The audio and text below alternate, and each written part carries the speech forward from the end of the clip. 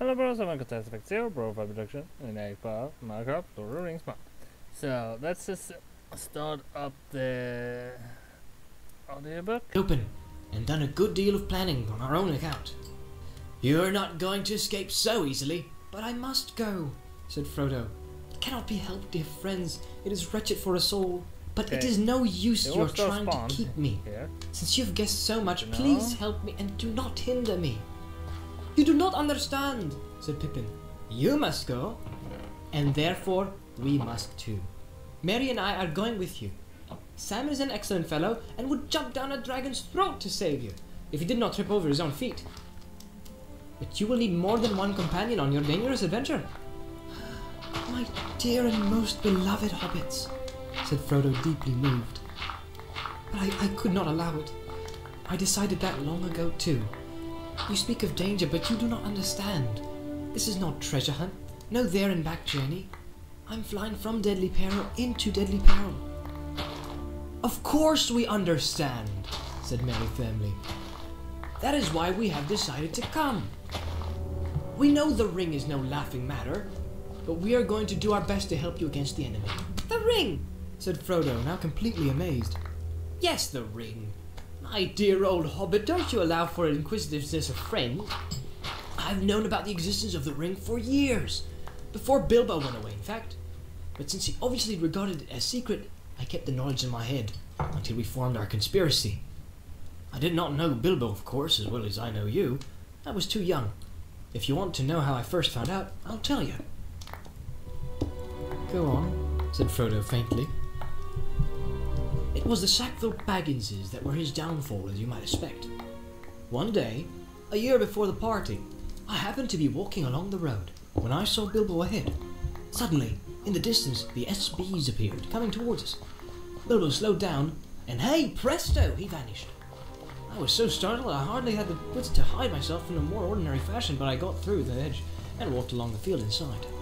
I was peeping through the road after the SBs had passed, and was looking straight at Bilbo when he suddenly reappeared. I caught a glint of gold as he put something back into his trouser pocket. After that, I kept my eyes open. In fact, I confess that I spied. You must admit that it was very intriguing. And I was only my teens. I must be the only one in the Shire besides you, Frodo, that has ever seen the old fellow's secret book. You read his book? cried Frodo. Good heavens above, is nothing safe? Hmm, not too safe, I should say, said Merry. But I I have only had one rapid glance. And that was difficult Why to did get. you jump down there? He never left the book about. I wonder what became of it. I should like another look. Have you got it, Frodo? No, it was not a Bag End. He must have taken it away. Hmm. Well, as I was saying, Merry proceeded, I kept my knowledge to myself till this spring when things got serious. Then we formed our conspiracy, and as we were serious too, and meant business, we have not been too scrupulous. You're not a very easy nut to crack, and Gandalf is worse.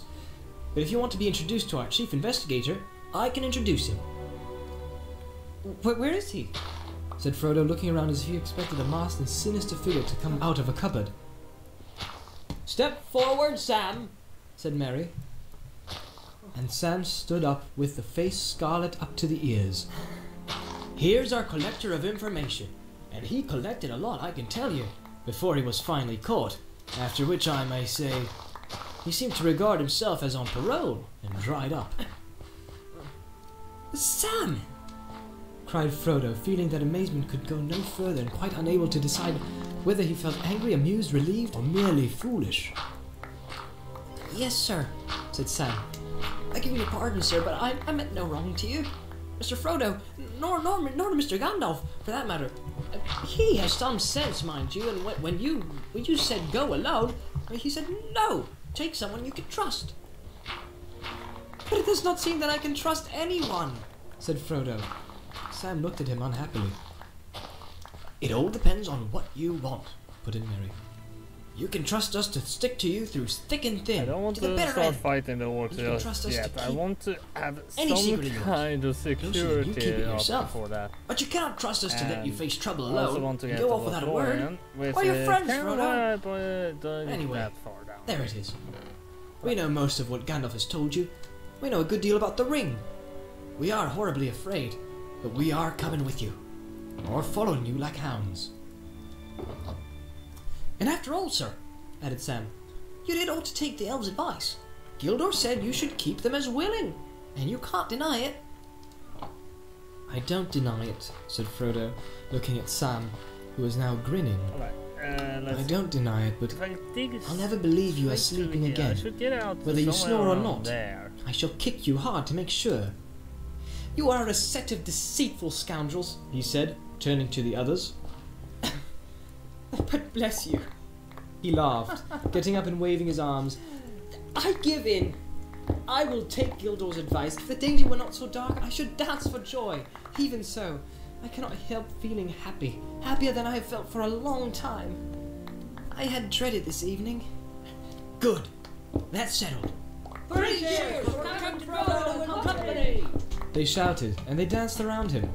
Merry and Pippin began a song, which they had apparently got ready for the occasion. It was made on the model of the dwarf song that started Bilbo on his adventure long ago, and went to the same tune. Farewell we call to hearth and hall, the wind may blow and rain may fall.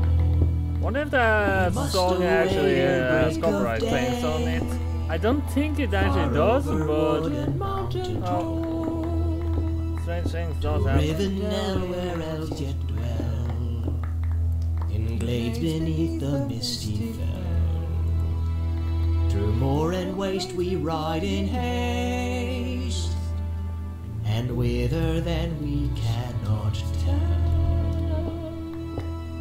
With foes ahead, behind us tread, beneath the sky shall be our I bed. think this uh, digging I Until at last will work. our A toy good way to bring be uh, building the Our Moria journey gates. done, our I think the west gate is actually where you enter Moria, kind of. We must away, we must away. We ride before the break of day. Very good, said Frodo. But in that case, there are a lot of things to do before we go to bed.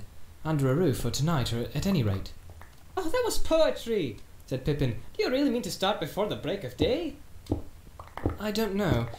I fear those Black Riders, and I'm sure it is unsafe to stay in one place long, especially in a place which it is known I this uh, also, old Gildor advised me not to time. wait, but I should very much like to see uh, Gandalf. probably be I could see that even Gildor was disturbed when he heard that Gandalf had never appeared. It really depends on two Uh, things. When I do How soon could the riders get to overkill. I mean, my, And how soon should we get off? I mean, It will my take a good deal of is uh, preparation. just about as The big answer to your as second question, said Merry, is that we could get off in an hour. I've prepared practically everything. There are six ponies in the stable across the fields. Doors and tackle are all packed, except for a few extra clothes and the perishable food. It seems to have been a very efficient conspiracy, said Frodo. But what about the Black Riders? Would it be safe to wait one day for Gandalf? Oh, that all depends on what you think the riders would do they found you here, answered Merry. They could have reached here by now, of course, if they were not stopped at the north gate, where the hedge runs out to the river bank, just this side of the bridge. The gate guards would not let them through by night, though they might break through. Even in the daylight, they would try to keep them out, I think. At any rate, until they got the message through to the Master of the Hole, for they would not like the look of the riders, and would certainly be frightened of them. But of course, Buckland cannot resist a determined attack for long, and it is possible that in the morning even a black rider that rode up and asked for Mr. Baggins would be let through. It is pretty generally known that you are coming back to live at Crickhollow. Frodo sat for a while in thought. I have made up my mind, he said finally. I'm starting tomorrow, as soon as it is light. But I'm not going by road. It would be safer to wait here than that. If I go through the north gate, my departure from Buckland will be known at once, instead of being secret for several days at least, as it might be. And what is more, the bridge and the east road near the borders will certainly be watched, whether any rider gets into Buckland or not. We don't know how many there are, but there are at least two, and possibly more. The only thing to do is to go off in a quite unexpected direction. But, but that can be. Uh, a, but, but that can only mean going into the old forest! said Fredegar, horrified. You can't be thinking of doing that. It is quite as dangerous as Black Riders. Not quite, said Merry. It sounds very desperate, but I believe Frodo is right. It is the only way of getting off without being allowed at once. With luck, we might get a considerable start. But, but, but you won't have any luck in the old forest, objected Fredegar. No one ever has luck in there. You'll get lost. People don't go in there. Oh, yes, they do, said Merry. The Brandybucks go in occasionally when the Vic takes them. We have a private entrance. Frodo went in once, long ago. I've been in several times, usually in daylight, of course, when the trees are sleepy and fairly quiet. well, do as you think best, said Fredegar. I'm more afraid of the old forest than of anything I know about. The stories about it are a nightmare. My vote hardly counts as I'm not going on the journey. Still, I'm very glad someone is stopping behind to tell Gandalf what you've done when he turns up, as I am sure he will before long. Fond as he was of Frodo, Fatty Bolger had no desire of leaving the Shire, nor to see what lay outside it. His family came from East Farthing, from Budgeford and Bridgefields, in fact, but he had never been over the Brandywine Bridge. His task, according to the original plans of the conspirators, was to stay behind and deal with inquisitive folk, and to keep up as long as possible the pretense that Mr. Baggins was still living in Crickhollow. He had even brought along some old clothes of Frodo's to help him in playing the part. They little thought how dangerous that part might prove. Excellent, said Frodo, when he understood the plan. We could not have left any message behind for Gandalf otherwise. I don't know whether these riders can read or not, of course, but I should not have dared to risk a written message in case they got in and searched the house. But if Fatty is willing to hold on the fort, and I can be sure of Gandalf knowing the way we have gone, that decides me. I'm going into the Old Forest. First thing tomorrow. Well, that's that, said Pippin. On the whole, I would rather have our job than Fatty's, waiting here till Black Riders come. You wait well till you are well inside the forest, said Fredegar. You'll wish you were back here with me before this time tomorrow. It's no good arguing about it anymore, said Merry.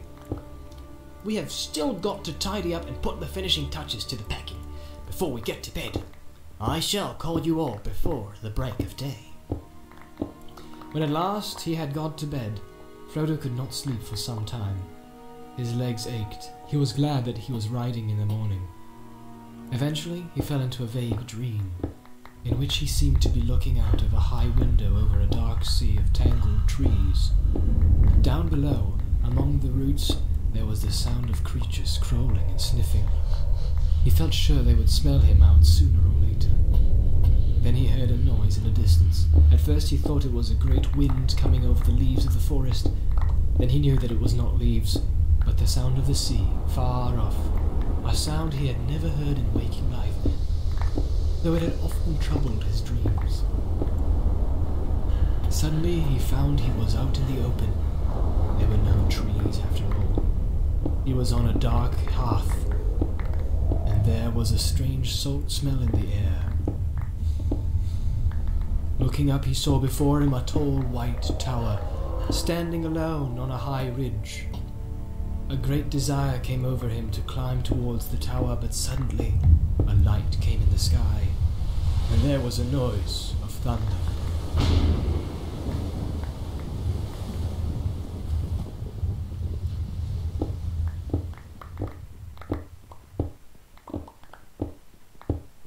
Frodo woke suddenly. It was still dark in the room. Merry was standing there with a candle in one hand and banging on the door with the other. All right. What is it? said Frodo, still shaken and bewildered. What is it? cried Merry. It's time to get up. It's half past four and very foggy. Come on, Sammy's already getting breakfast ready. Even Pippin is up. I'm just going to saddle the ponies and fetch the one that is to be the baggage carrier. Wake that sluggard Fatty, at least he must get up and see us off. Soon after six o'clock, the five hobbits were ready to start. Fatty Bolger was still yawning. They stole quietly out of the house. Merry went in front, leading a laden pony, and took his way along a path that went through a spinney behind the house and then cut across several fields. The leaves of trees were glistening, and every twig was dripping. The grass was grey with cold dew. Everything was still, and faraway noises seemed near and clear. Fowls chattering in the yard, someone closing a door of a distant house. In their shed they found the ponies, sturdy little beasts of the kind loved by hobbits, not speedy, but good for a long day's work. They mounted, and soon they were riding off into the I mist, got a which seemed to through, open but reluctantly I before mean, them and close forbiddingly behind them. uh, After riding for about an hour, slowly and without talking, Oh, there's They uh, saw like the five hedge thousand blocks suddenly ahead. it was tall and netted over with silver cobwebs. How are you gonna get through this? Okay, asked Fredegar. you know what? Follow me. Said Merry. Considering how much you will more I have to go, I think I. He turned to the left along the hedge, Oh, and soon they came to a My point where it bent already inwards, running along the lip of a Oh, hollow. A cutting had actually, been made at some distance from the hedge, and went slopingly gently down to the ground. work to give her more It had walls of bricks at the sides which rose steadily, But you know until suddenly they arced over and formed a tunnel that dived deep under the hedge and came out in the hollow on the other side. You know what? I Here, can just Fatty fly Bolger over the mountain and get to Lothlorien that way. Goodbye, Frodo, he said. I wish you were not going into the forest. I only hope you will not need rescuing before the day is out. Good luck to you, today and every day. I mean, If there are no worse us things ahead than the old forest, I shall be lucky, said Frodo. Tell Gandalf to hurry along the east road. We shall soon be back on it and going as fast as we can. Goodbye, goodbye, they cried, and rode down the slope and disappeared from Fredegar's sight into the tunnel. It was dark and damp. At the far end it was closed by a gate of thick set iron bars. Fun to flowing around. Merry got down and unlocked the gate, the Mountains. and when they all had passed through, he pushed it to again. It shut with a clang, and the lock clicked. The sound was ominous. There, said Merry. You have left the Shire, and are now outside, and on the edge of the old forest. Are the stories about it true? asked Pippin. I don't know what stories you mean, Merry answered. If you mean the old bogey stories Fatty's nurses used to tell him, about goblins and wolves and things of that sort, I should say no. At any rate, I don't believe them. But the forest is queer. Everything in it is very much more alive and more aware of what's going on, so to speak, than things that are in the Shire. I have to go high. And the trees do not like strangers. They watch you. They are usually content merely to watch you as long as I daylight can't lasts see a thing. and don't do much. Occasionally, Oh, the shit. most unfriendly ones may drop a branch, or stick a root out, or grasp you with a long trailer. But at night, things can be most alarming, or so I'm told. I've only once or twice been here after dark, and then only near the hedge. I thought all the trees were whispering to each other, passing news and plots along the unintelligible language, and the branches swayed and groped without any wind. They do say the trees do actually move, and can surround strangers and hem them in. In fact, not long ago they attacked the hedge. They came and planted themselves right by it and leaned over it. But the hobbits came and cut down hundreds of trees and made a great bonfire in the forest and burned all the ground in a long strip east of the hedge. After that, the trees gave up the attack, but they became very unfriendly. There is still a wide bare space not far inside where a bonfire was made. Is it only the trees that are dangerous? asked Pippin. There are various queer things living deep in the forest. And on the far anything. side, said Merry. Or at least I've heard so. But I've never seen any of them. But something makes paths. Whenever one comes inside, one finds open tracks. But they seem to shift and change from time to time in a queer fashion. Not far from this tunnel there is, or was for a long time, the beginnings of a quite broad path leading to the bonfire Damn glade. even and then on long more or less in one direction, east and a little north. That is the path I'm trying to find. The hobbits now left the tunnel gates and rode across the wide hollow. On the far side there was a faint path leading up to the floor of the forest, a hundred yards and more beyond the hedge, but it vanished as soon as it brought them under the trees. Looking back, they could see the dark line of hedge through the stems of trees that were already thick about them. Looking ahead, they could see only tree trunks of innumerable sizes and shapes, straight or bent, twisted, leaning squat or slender, smooth or gnarled and branched. And all the stems were green or grey with moss and slimy, shaggy growths. Merry alone seemed fairly cheerful. You had better lead on and find that path, Frodo said to him. Don't let us lose one another. I forget which way the hedge lies. They picked away among the trees, and their ponies plodded along, carefully avoiding the many writhing and interlacing roots. There was no undergrowth, The ground was rising steadily, and as they went forward, it seemed that the trees became taller, darker, and thicker. There was no sound, except an occasional drip of moisture falling through the still leaves. For the moment, there was no whispering or movement among the branches, but they all got an uncomfortable feeling that they were being watched with disapproval, deepening to dislike and even enmity.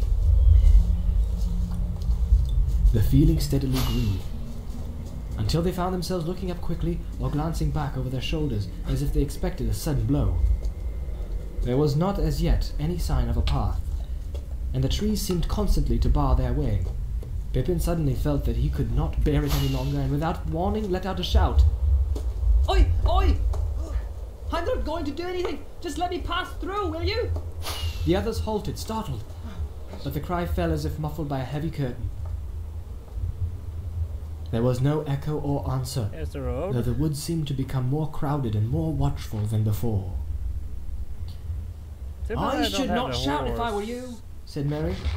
It does more harm than good. Frodo began have to wonder if it was possible to to find a way through, That's gonna take a if he had been while. right to make the others come into this abominable wood. Merry was looking from side to side, and seemed already uncertain which way to go. Pippin noticed it. It has not taken you long to lose us. he said. But at that moment, Merry gave a whistle of relief and pointed ahead. Well, well, he said. These trees do shift. There is a bonfire glade in front of us, or I hope so, but the path to it seems to have moved away. The light grew clearer as they went forward. Suddenly, they came out of the trees and found themselves in a wide, circular space.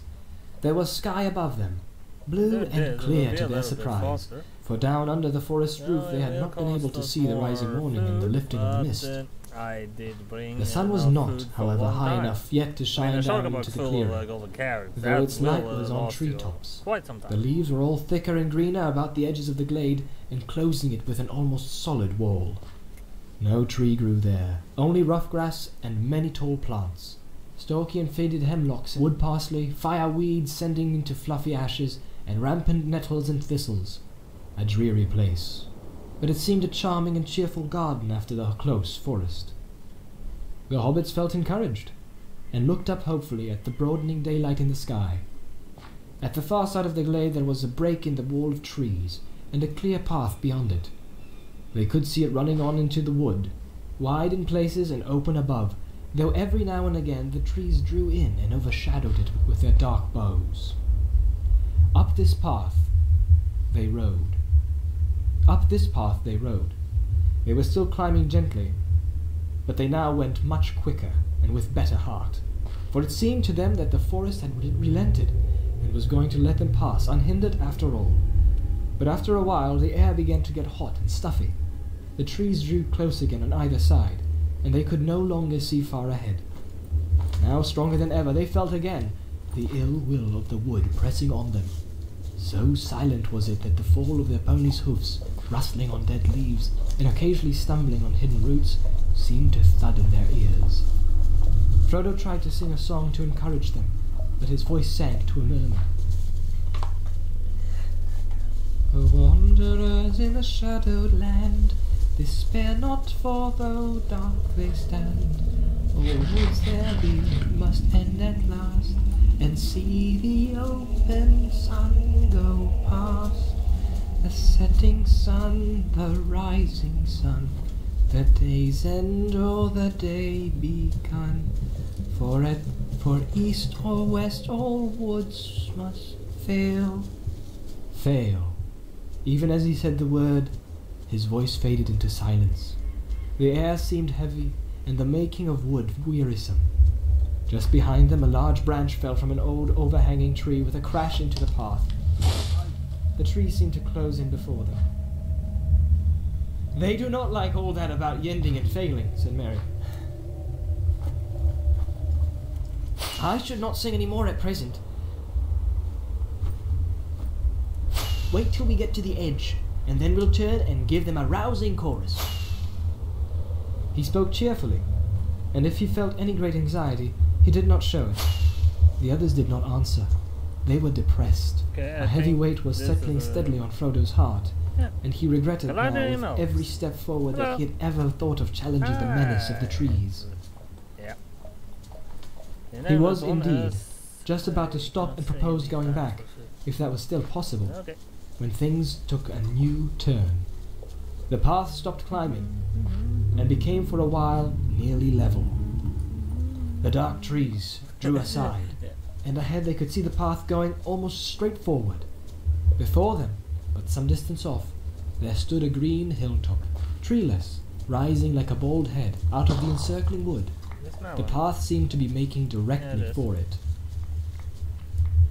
They now hurried forward again, delighted, with the thought of climbing out for a while above the roof of the forest, I don't the like path uh, cutting down and then again trees, began to climb the upwards, saplings, leading them at last to the foot of the steep hillside. get uh. There it left the trees melon and faded trees into the turf. myself, I feel The wood stood all around the hill like thick down, hair but that ended down, sharply in a circle around a shaven crown. Uh, natural the hobbits like. led their ponies up, winding round and round until they reached the top. will be enough. There they stood and gazed about them. The air was gleaming and I'm gonna sunlit, use but light hazy, The and they could not see to any great distance. Near at hand, the mist was now almost gone, though here and there it lay in hollows of Right the wood. I'm just looking for And to the south of them, out of a deep uh, fold cutting right across the table. forest, the fog still Whatever rose like steam or wisps of white smoke. That, said Merry, pointing with his hand, that is the line of the Withywindle. It comes down out of the downs and flows southwest through the midst of the forest to join the Brandywine below Haysend. We don't want to go that way. so With the Withy Windle Valley, it is said to be the Yeah, queerest part of the whole wood, the centre of which all the queerness comes, as it were. The others looked in the direction that Merry pointed out, but they could see little but mists over the damp and deep-cut valley, and beyond the southern half of the forest faded from view. The sun on the hilltop was now getting hot. It must have been uh, about eleven o'clock, but the autumn haze still prevented them from seeing much in other directions. In the west, they could not make out either the line of the hedge or the, or the valley of the Brandywine beyond it. Northward, where they looked most hopefully, they could see nothing that might that might be the line of the great east road of which they were making. They were on an island in a sea of trees, and the horizon was veiled.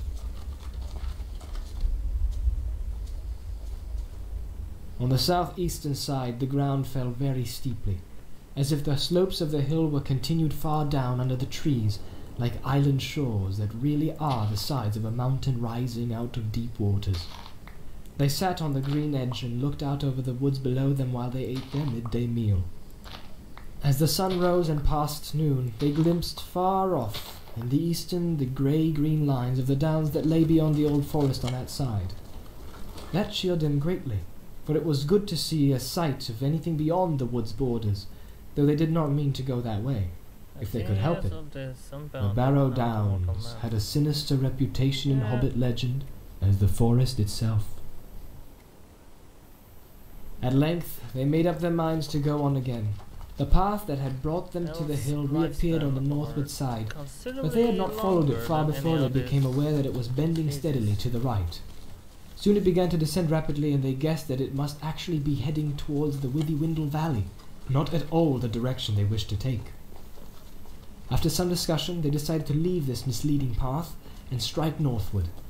For although they had not been able to see it in front of the hilltop, the road must lie that way, and it could not be many miles off.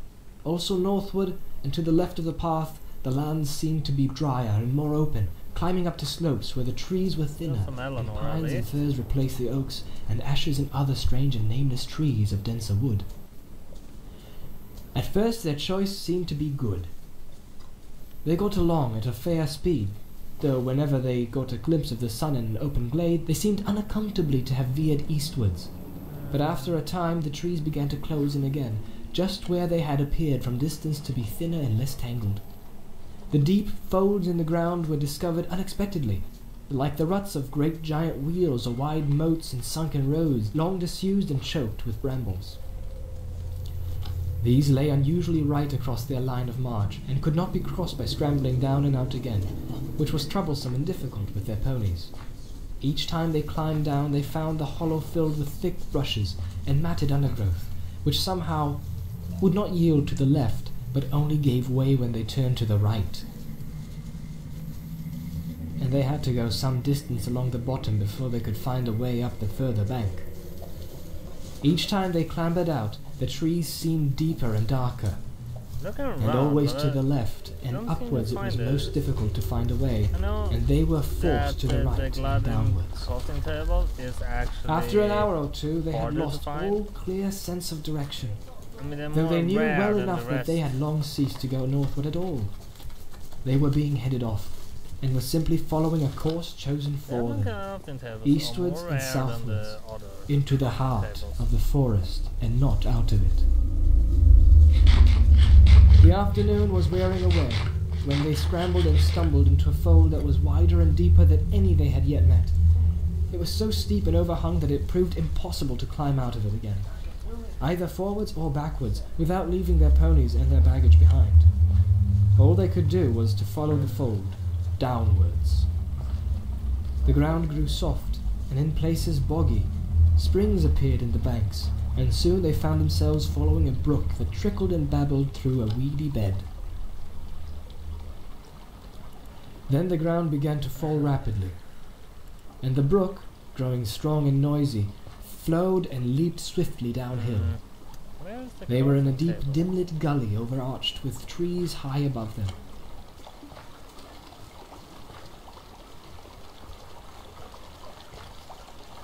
After stumbling along for some way along the stream, they came quite suddenly out of the gloom. As if through a gate, they saw the sunlight before them. Coming to the opening, they found that they had made their way down through a cleft in a high-speed it's bank across a cliff. At its feet was a wide space of grass and reeds, and in the distance could be glimpsed another bank, almost as steep. A golden afternoon of late sunshine lay warm and drowsy upon the hidden land between. In the midst of it there wound lazily a dark river of brown water, bordered with ancient willows, arced over with willows, blocked with fallen willows, and flecked with thousands of faded willow leaves. The air was thick with them, fluttering yellow from the branches, for there was a warm and gentle breeze blowing softly in the valley, and the reeds were rustling, and the willow boughs were creaking. Well, now I have at least some notion of where we are, said Merry. We've come almost in the opposite direction in which we intended. This is the River Withywindle. I will go on and explore. He passed out into the sunshine and disappeared into the long grasses. After a while, he reappeared and one. reported that there was fairly solid ground between the cliff foot and the river. That, that's causing you to use In some places, firm turf went down to the water's edge. What's more, he said, there seems to be something like a footpath winding along this side of the river.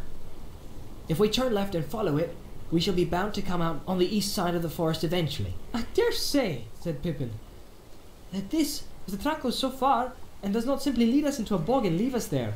Who made the track, do you suppose, and why? I'm sure it was not for our benefit. I'm getting very suspicious of this forest and everything in it. And I begin to believe all the stories about it. And have you any idea how far eastward we should have to go? No, said Merry. I haven't. Uh, now I don't know in the least how when far down the river we here, are. I'm gonna wait Or who could possibly time, come here often enough to uh, make a path orcs. it. But there is no other way out that I can see or think of.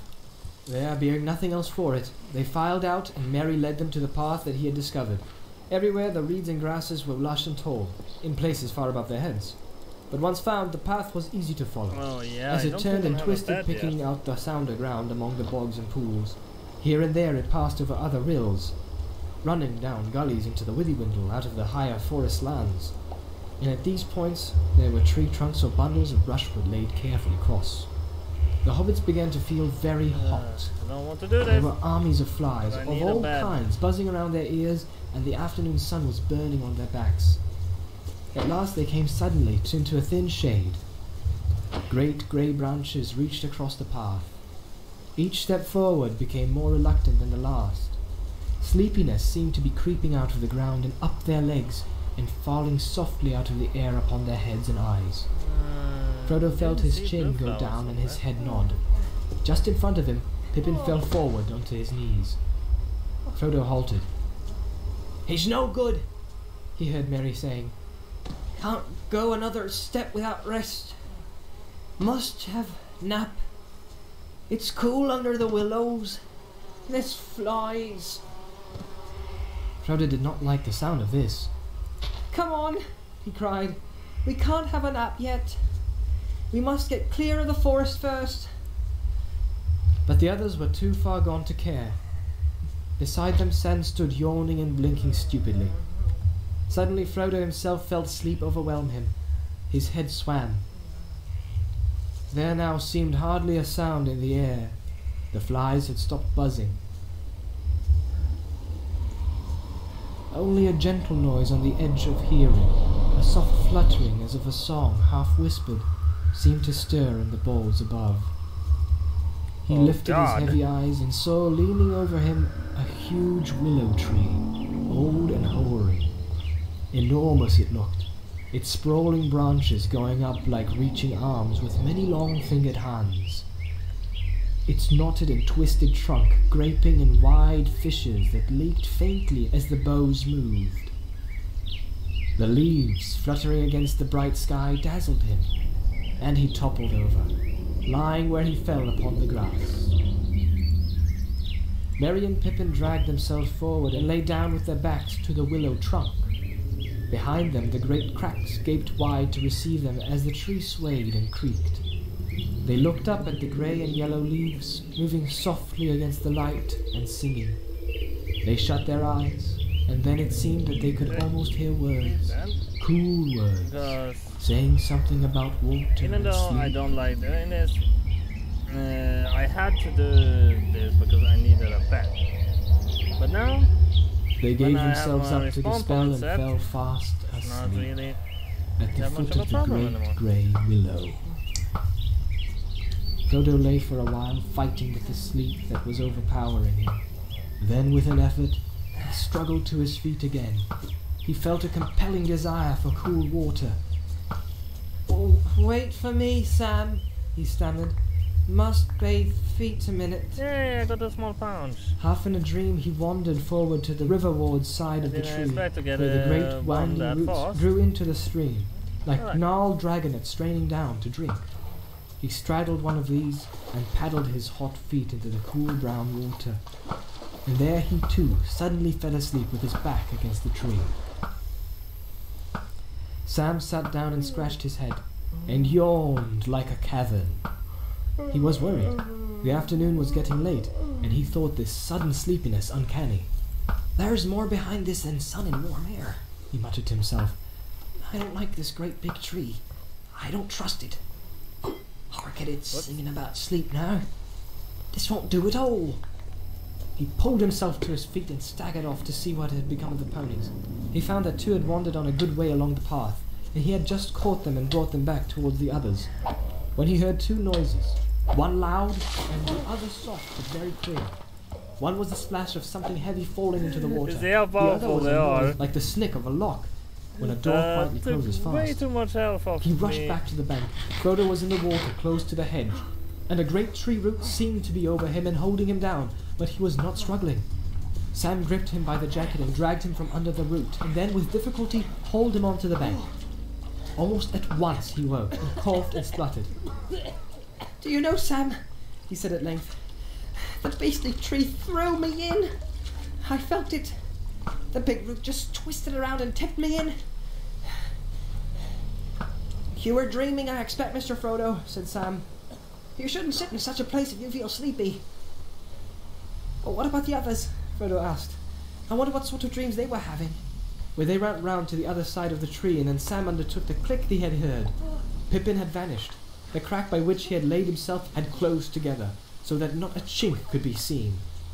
Merry was trapped. Another crack had closed about his waist. His legs lay outside, but the rest of him was inside a dark opening, the edges of which gripped like a pair of pincers. Frodo and Sam beat first upon the tree trunk where Pippin had lain. They then struggled frantically to pull open the jaws of the crack that held poor Merry. It was quite useless. What a foul thing to oh, happen! Oh god. cried Frodo wildly. Why did we ever come to this dreadful forest? I wish we were all back in Crickhollow. He kicked the tree with all his strength, triggers to his own feet. A hardly perceptible shiver ran through the stream and up to the branches. The leaves rustled and whispered, with a sound of now faint and far off laughter. I suppose we haven't got an axe among our luggage, Mr. Frodo? asked Sam. I ah, I brought a little hatchet for chopping firewood, said barely Frodo. managing. That wouldn't be much use. Wait a minute! cried Sam, struck by an idea suggested by firewood. We might do something with fire! We might, said Frodo doubtfully. We might succeed in roasting Pippin alive inside. We might try to hurt or frighten this tree to begin with, said Sam fiercely. If it don't let them go, I'll have it down, if I have to gnaw it. He ran to the ponies and before long came back with two tinder boxes and a hatchet. Quickly they gathered dry grass and leaves and bits of bark and made a pile of broken twigs and chopped sticks. These they had heaped against the trunk on the far side of the tree for the prisoners. Of course, you can see the power As soon as Sam had struck a spark into the tinder, it it, kindled the dry grass, and a flurry of flame and smoke went up. combine it with other Twigs pouches. crackled. Little fingers of fire licked against the dry, scored rind of the ancient tree and scorched me? it. A tremor ran through the whole willow. The leaves, the leaves seemed to hiss above their heads with a sound of pain and anger.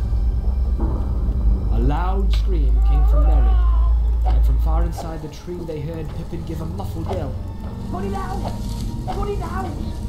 Cried Merry, You squeeze you don't! Keep them down! Who? What? shouted Frodo, rushing round to the corner of the This side of the tree. born during daytime. Put it out! Put it out! begged Merry. The branches of the willow began to sway violently.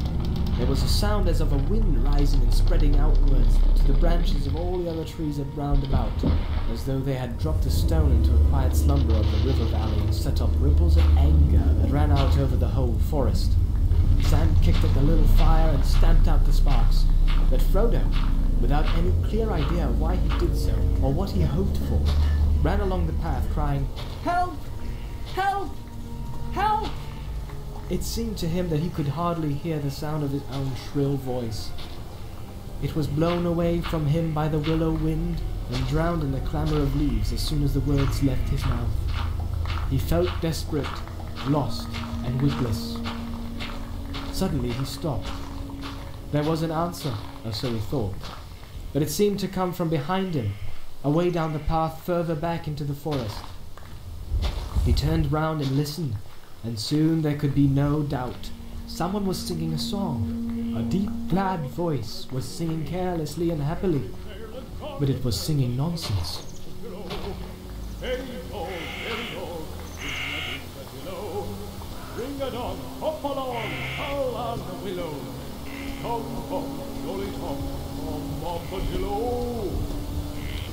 Half hopeful and half afraid of some new danger, Frodo and Sam now both stood still.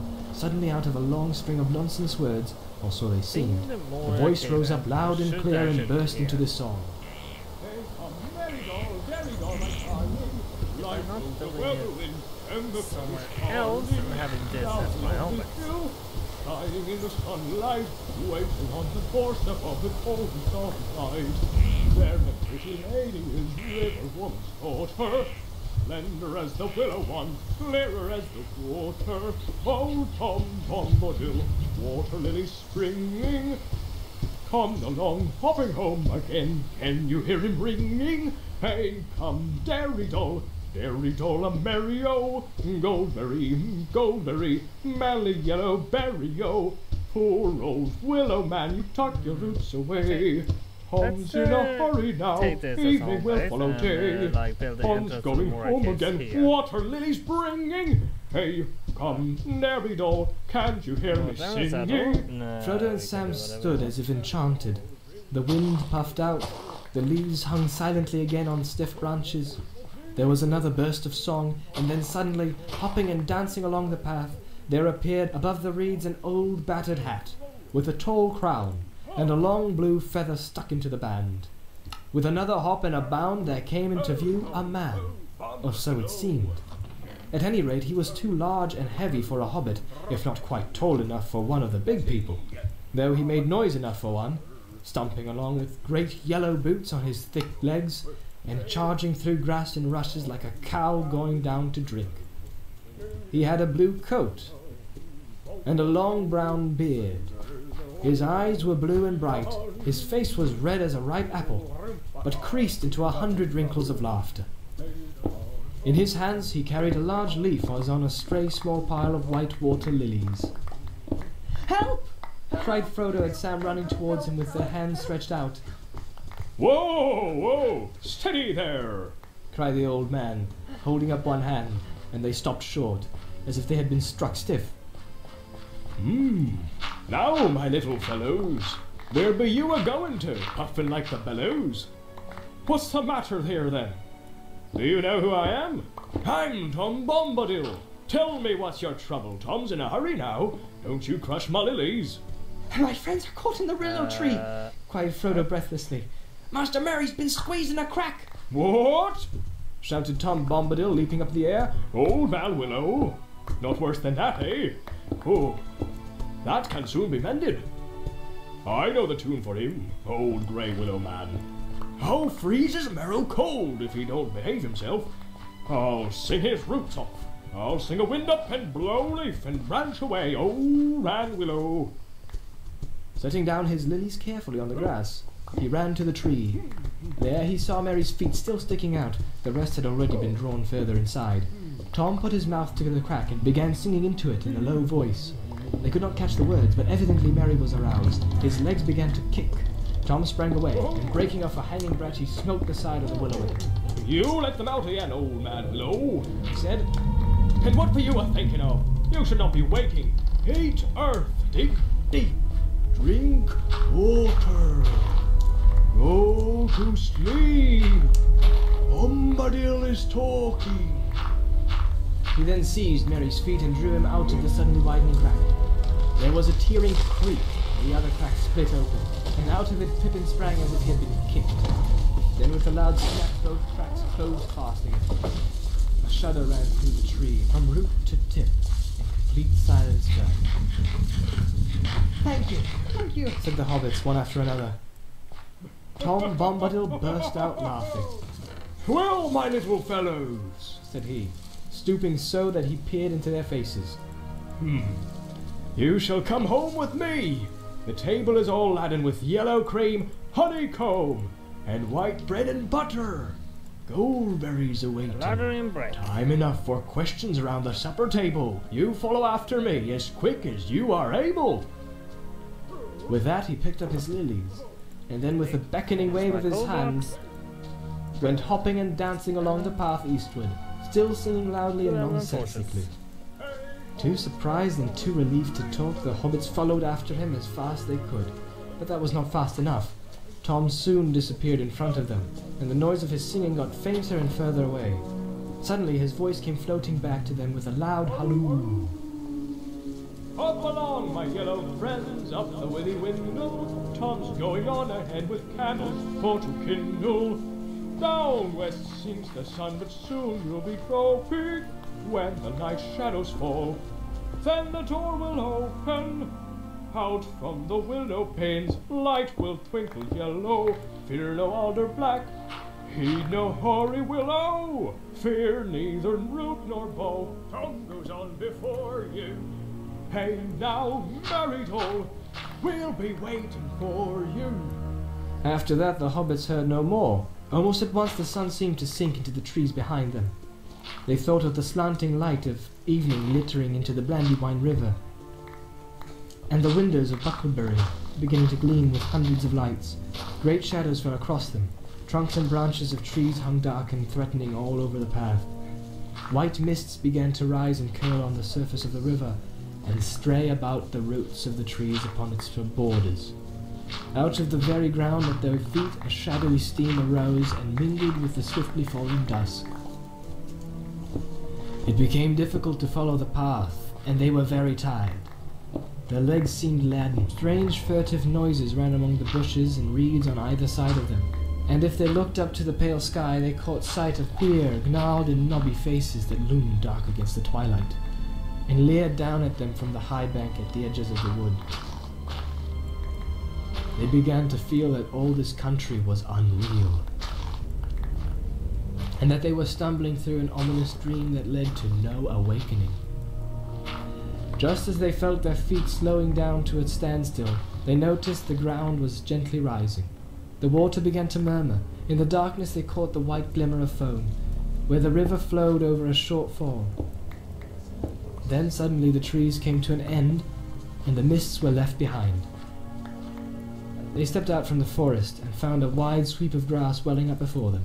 The river, now small and swift, was leaping merrily down to meet them, glinting here and there in the light of the stars, which were already shining in the sky. The grass under their feet was smooth and short, as if it had been mown or shaven. The eaves of the forest behind were clipped, and thin, as a hedge.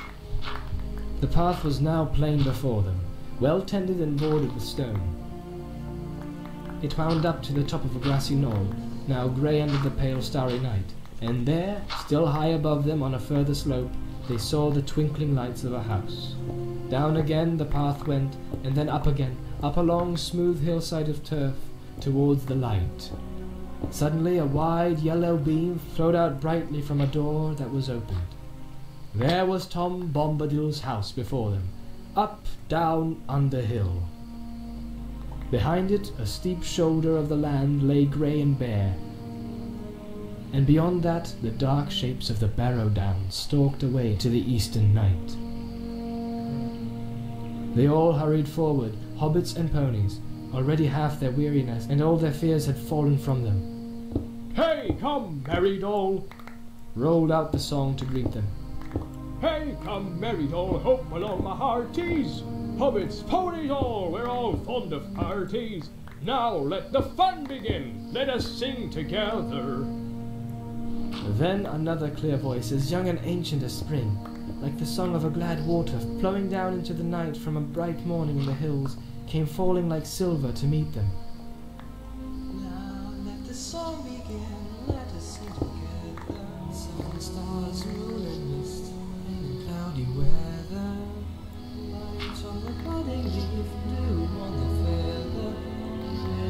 the open hill, bells on the heather. Reeds by the shady pool, lilies by the water. Old Tom Bombadil and the river daughter. That song, the hobbit stood upon the threshold, and a golden light was all about them.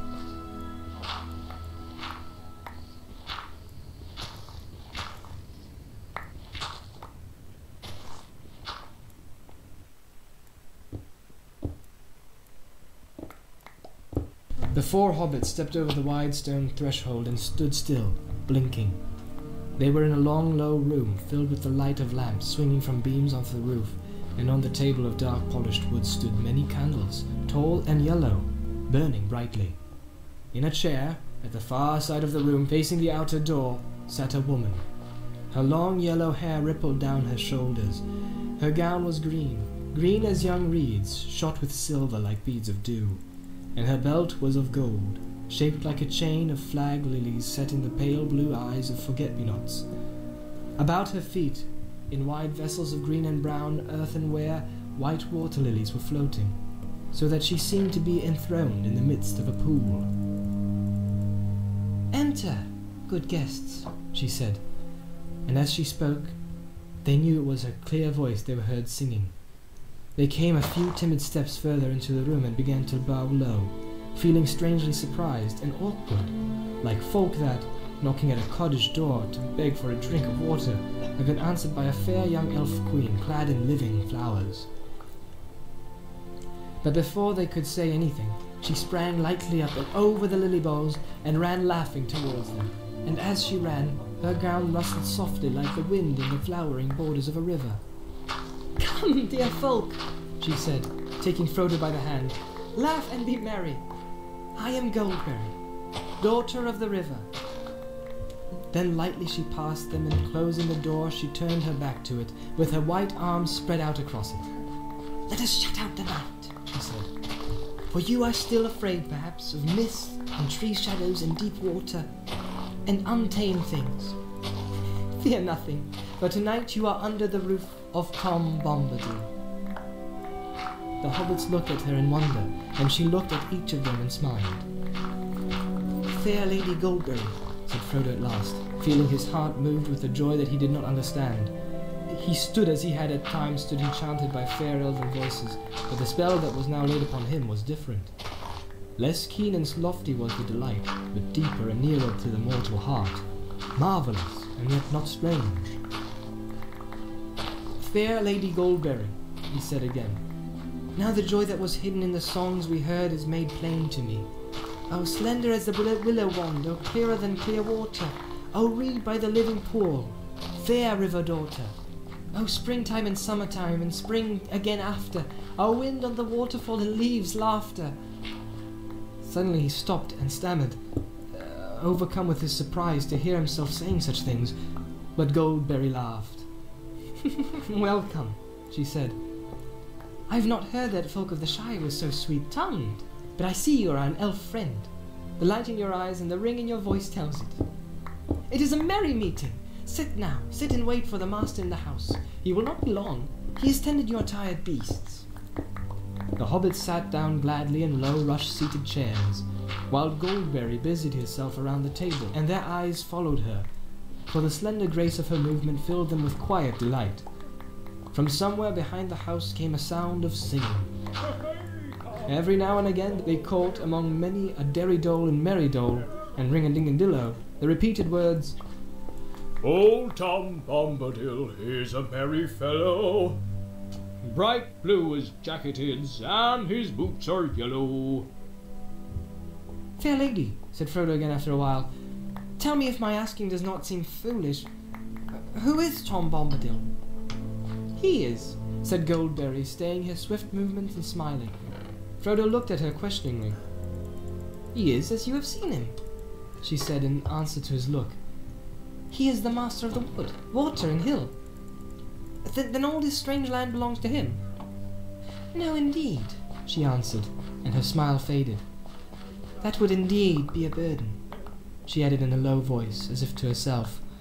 The trees and the grasses and all things growing or living in the land belong to each of themselves.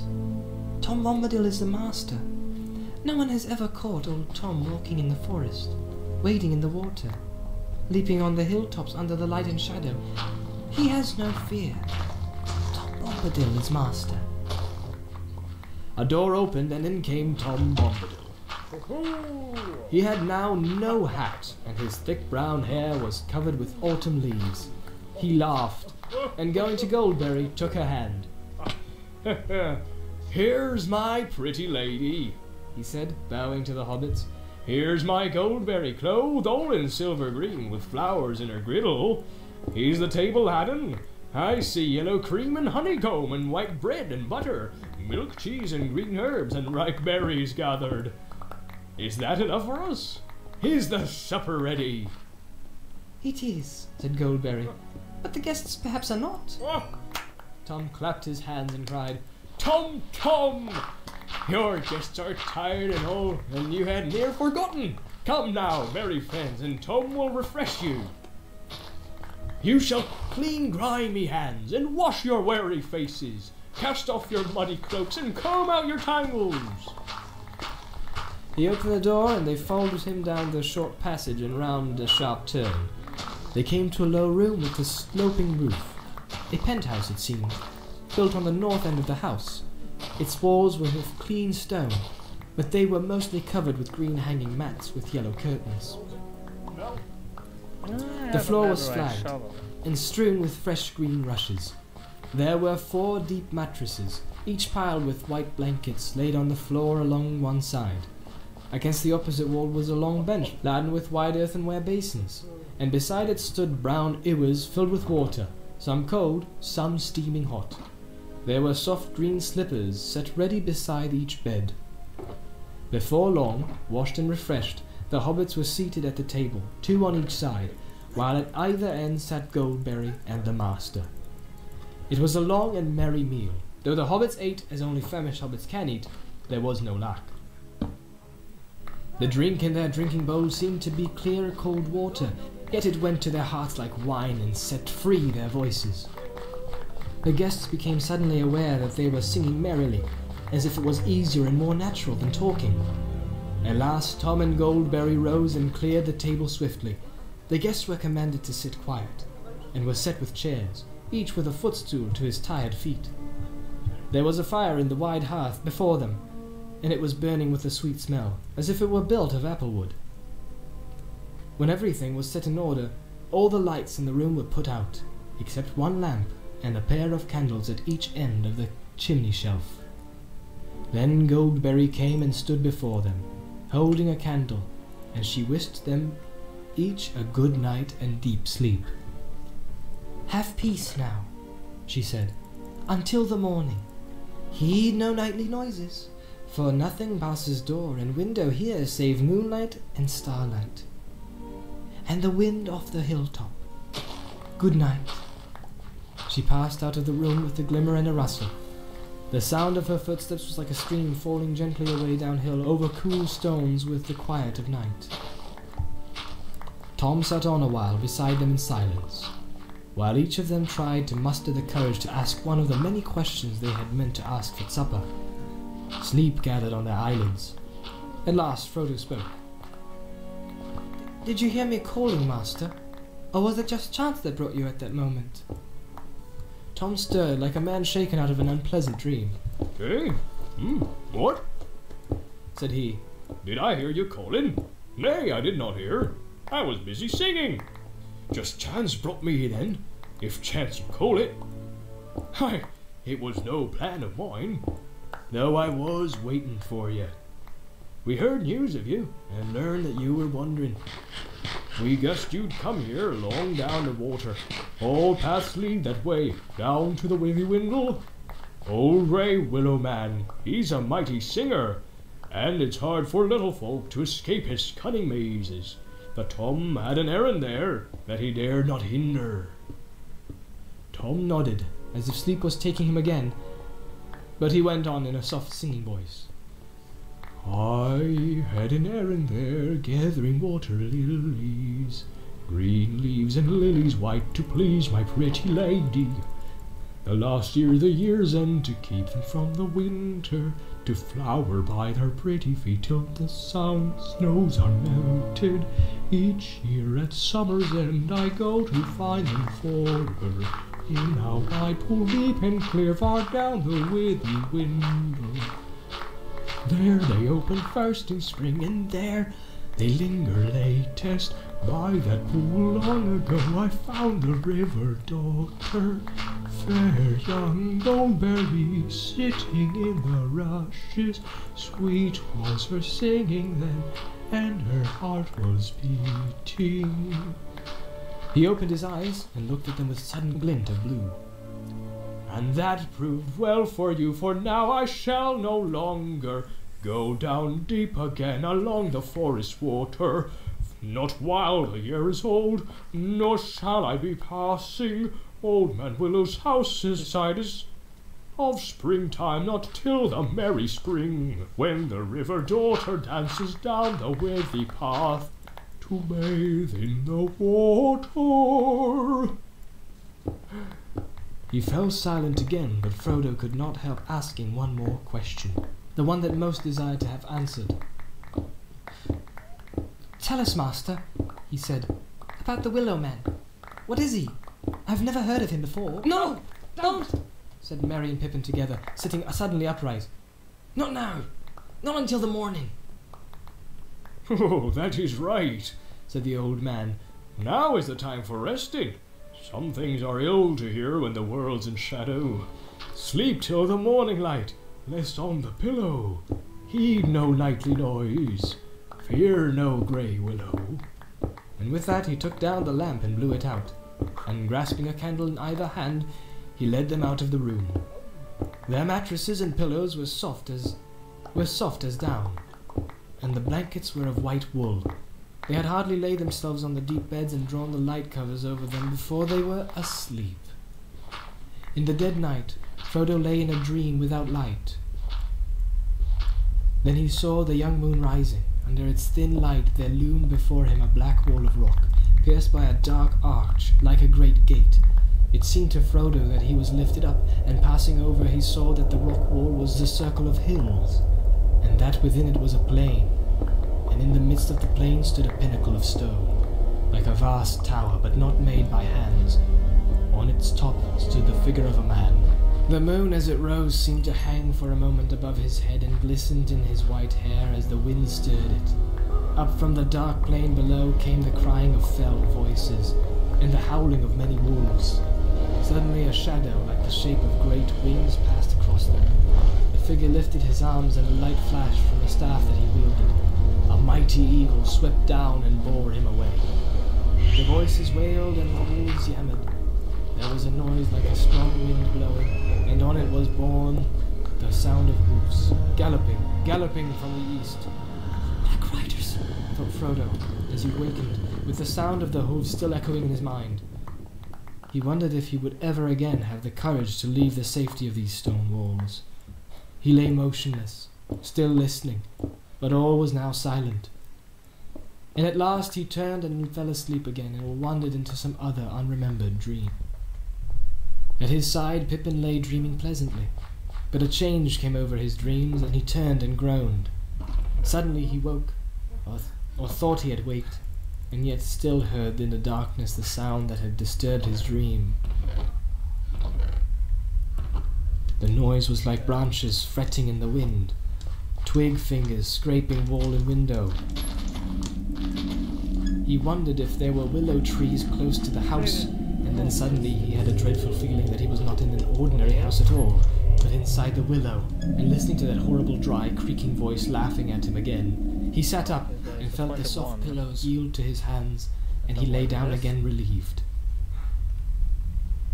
He seemed to hear the echo of words in his ears. Fear nothing. Have peace until the morning. Heed no. Then he went to sleep again. It was the sound of water that Merry heard falling into his quiet sleep, water streaming down gently, and then spreading and spreading irresistibly all around the house into a dark, shoreless pool. It gurgled under the walls and was rising slowly but surely. I shall be drowned, he thought. It will find its way in, and then I shall drown. He felt that he was lying in a soft, slimy bog, and springing up, he set his foot on the corner of a cold, hard flagstone. Then he remembered where he was and lay down again. He seemed to hear or remember hearing, Nothing passes doors or windows save the moonlight and starlight, and the wind off the hilltop. A little breath of sweet air moved the curtain. He breathed deep and fell asleep again. As far as he could remember, Sam slept through the night in a deep content, if logs are contented. They woke up, all four at once, in the morning light. Tom was moving about the room, whistling like a starling. When he heard them stir, he clapped his hands and cried, Hey, come, merry dole, derry dole, my hearties.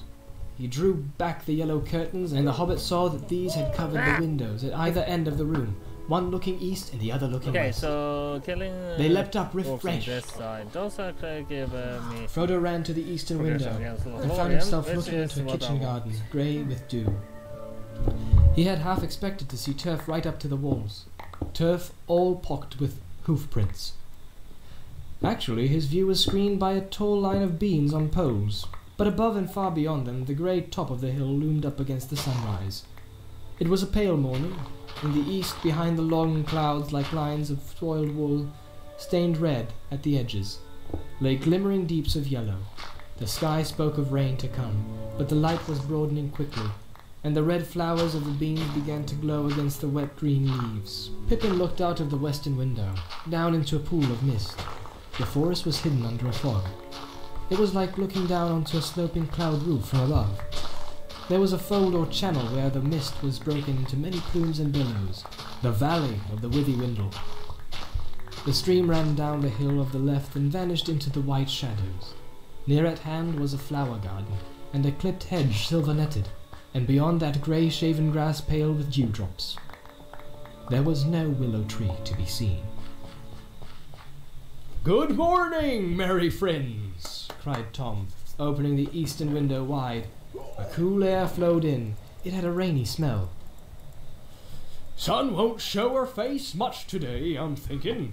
I have been walking wide, leaping on the hilltops since the grey dawn began, nosing wind and weather, Wet grass underfoot, wet sky above me. I waken when you Goldberry singing under window. with this m- But not wakes hobbit folk in If you can cut morning. down more than one In the the night, little folk wake up in the darkness and sleep after light has come. Ring a ding a go dillo. Wake now, my merry friends, forget the nightly noises. Ring a ding dillo dell, derry dell, my hearties. If you come soon, you'll find breakfast on the table. If you come late, you'll get grass and rainwater. Needless to say, not that Tom's threat sounded very serious. The hobbits came soon, and left the table late, and only when it was beginning to look rather empty. Neither Tom nor Goldberry were there. Tom could be heard about the house, clattering in the kitchen, and up and down the stairs, and singing the here and there outside. The room looked westward over the mist-clouded valley, and the window was open. Water dripped down from the thatched eaves above. Before they had finished breakfast, the clouds had joined into an unbroken roof, and a straight grey rain came softly and steadily down. Behind its deep curtain, the forest was completely veiled. As they looked out of the window, there came falling gently as if it was flowing down the rain out of the sky, the clear voice of Goldberry singing up above them. They could hear few words, but it seemed plain to them that the song was a rain song, as sweet as showers on dry hills, that told the tale of a river from the spring in the highlands to the sea far below. The hobbits listened with delight, and Frodo was glad in his heart, and blessed the kindly weather, because it delayed them from departing. The thought of going had been heavy upon him from the moment he awoke, but he guessed now that they would not go further that day. The upper wind settled in the west, and deeper and wetter clouds rolled up to spill their laden rain on the bare heads of the downs. Nothing could be seen all around the house but falling water. Frodo stood near the open door and watched the white chalky path turn to a little river of milk and go bubbling away down into the valley. Tom Bombadil came trotting round the corner of the house, waving his arms as he was warding off the rain, and indeed, when he sprang over the threshold, he seemed quite dry, except for his boots. These he took off and put in the chimney corner. Then he sat in the largest chair and called the hobbits to gather around him. This is Goldberry's washing day, he said, and her autumn cleaning. Too wet for hobbit folk, yet them rest while they are able. It's a good day for long tales, for questions and for answers, so Tom will start the talking. He then told them many remarkable stories, sometimes half as if speaking to himself, sometimes looking at them suddenly with a bright blue eye under his deep brows. Often his voice would turn to song, and he would get out of his chair and dance about. He told them tales of bees and flowers, the ways of trees, and the strange creatures of the forest, about the evil things and good things, things friendly and things unfriendly, cruel things and kind things, and secrets hidden under brambles. As they listened, they began to understand the lives of the forest apart from themselves, indeed to feel themselves as the strangers where all other things were all at home. Moving constantly in and out of this talk was. Old Man Willow, and Frodo learned now enough to content him. Indeed, more than enough, for it was not comfortable all. Tom's words laid bare the hearts of trees and their thoughts, which were often dark and strange, and filled with a hatred of things that go free upon the earth, gnawing, biting, breaking, hacking, and burning, destroyers and usurpers.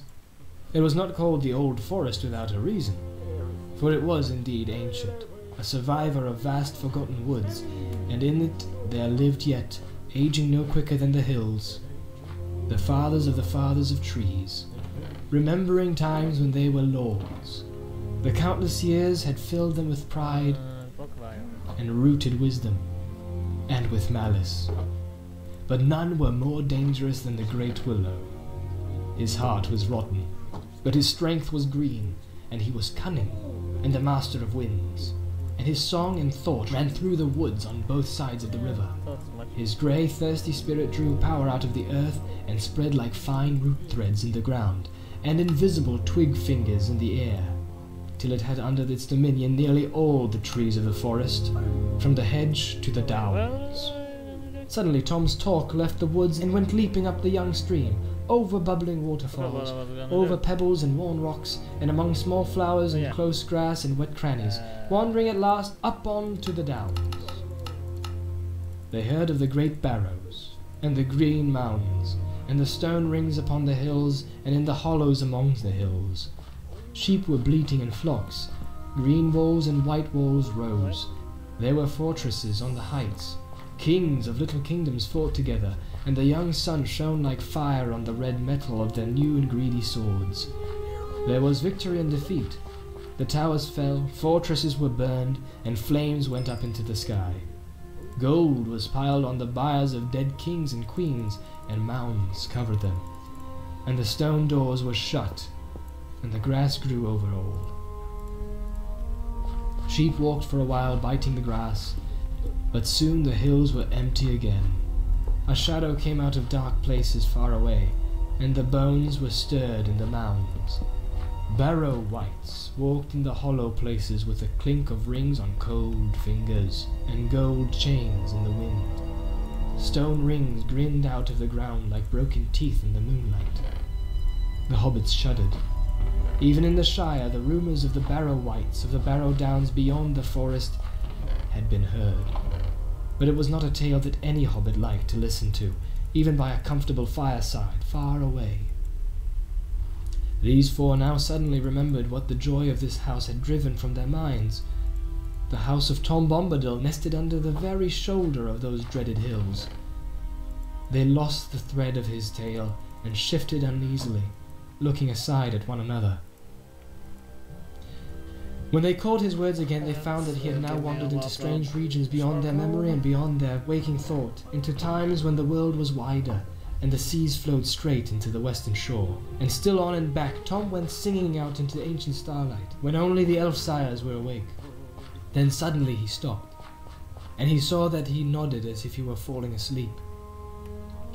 The hobbits sat still before him, enchanted, and it seemed as if under the spell of his words the wind had gone, and the clouds had dried up, and the day had been withdrawn.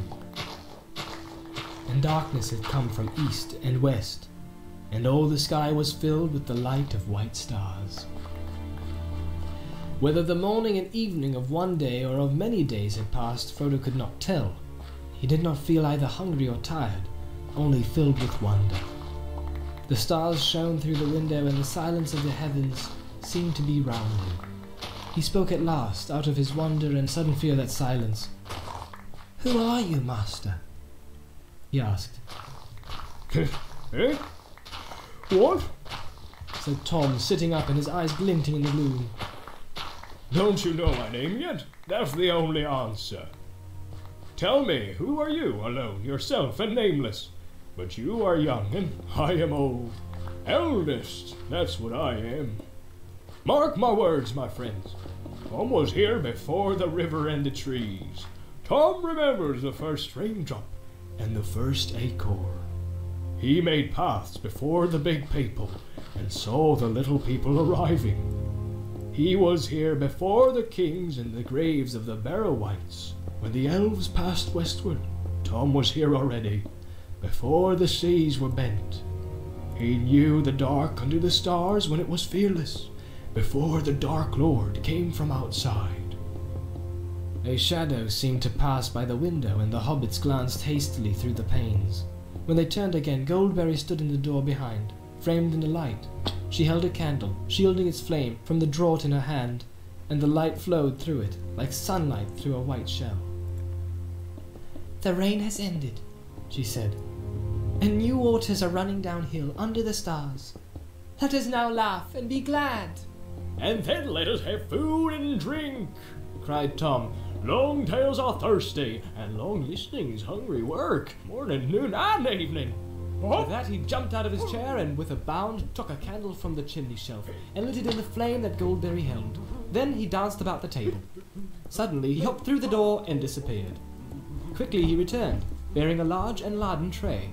Then Tom and Goldberry set the table, and the hobbits sat half in wonder and half in laughter. So fair was the grace of Goldberry, and so merry and odd the caperings of Tom. Yet in some fashion they seemed to weave a single dance, neither hindering the other, in and out of the room, and round about the table. And with great speed, food and vessels and lights were set in order. The boards blazed with candles, white and yellow. Tom bowed to his guests. Supper is ready,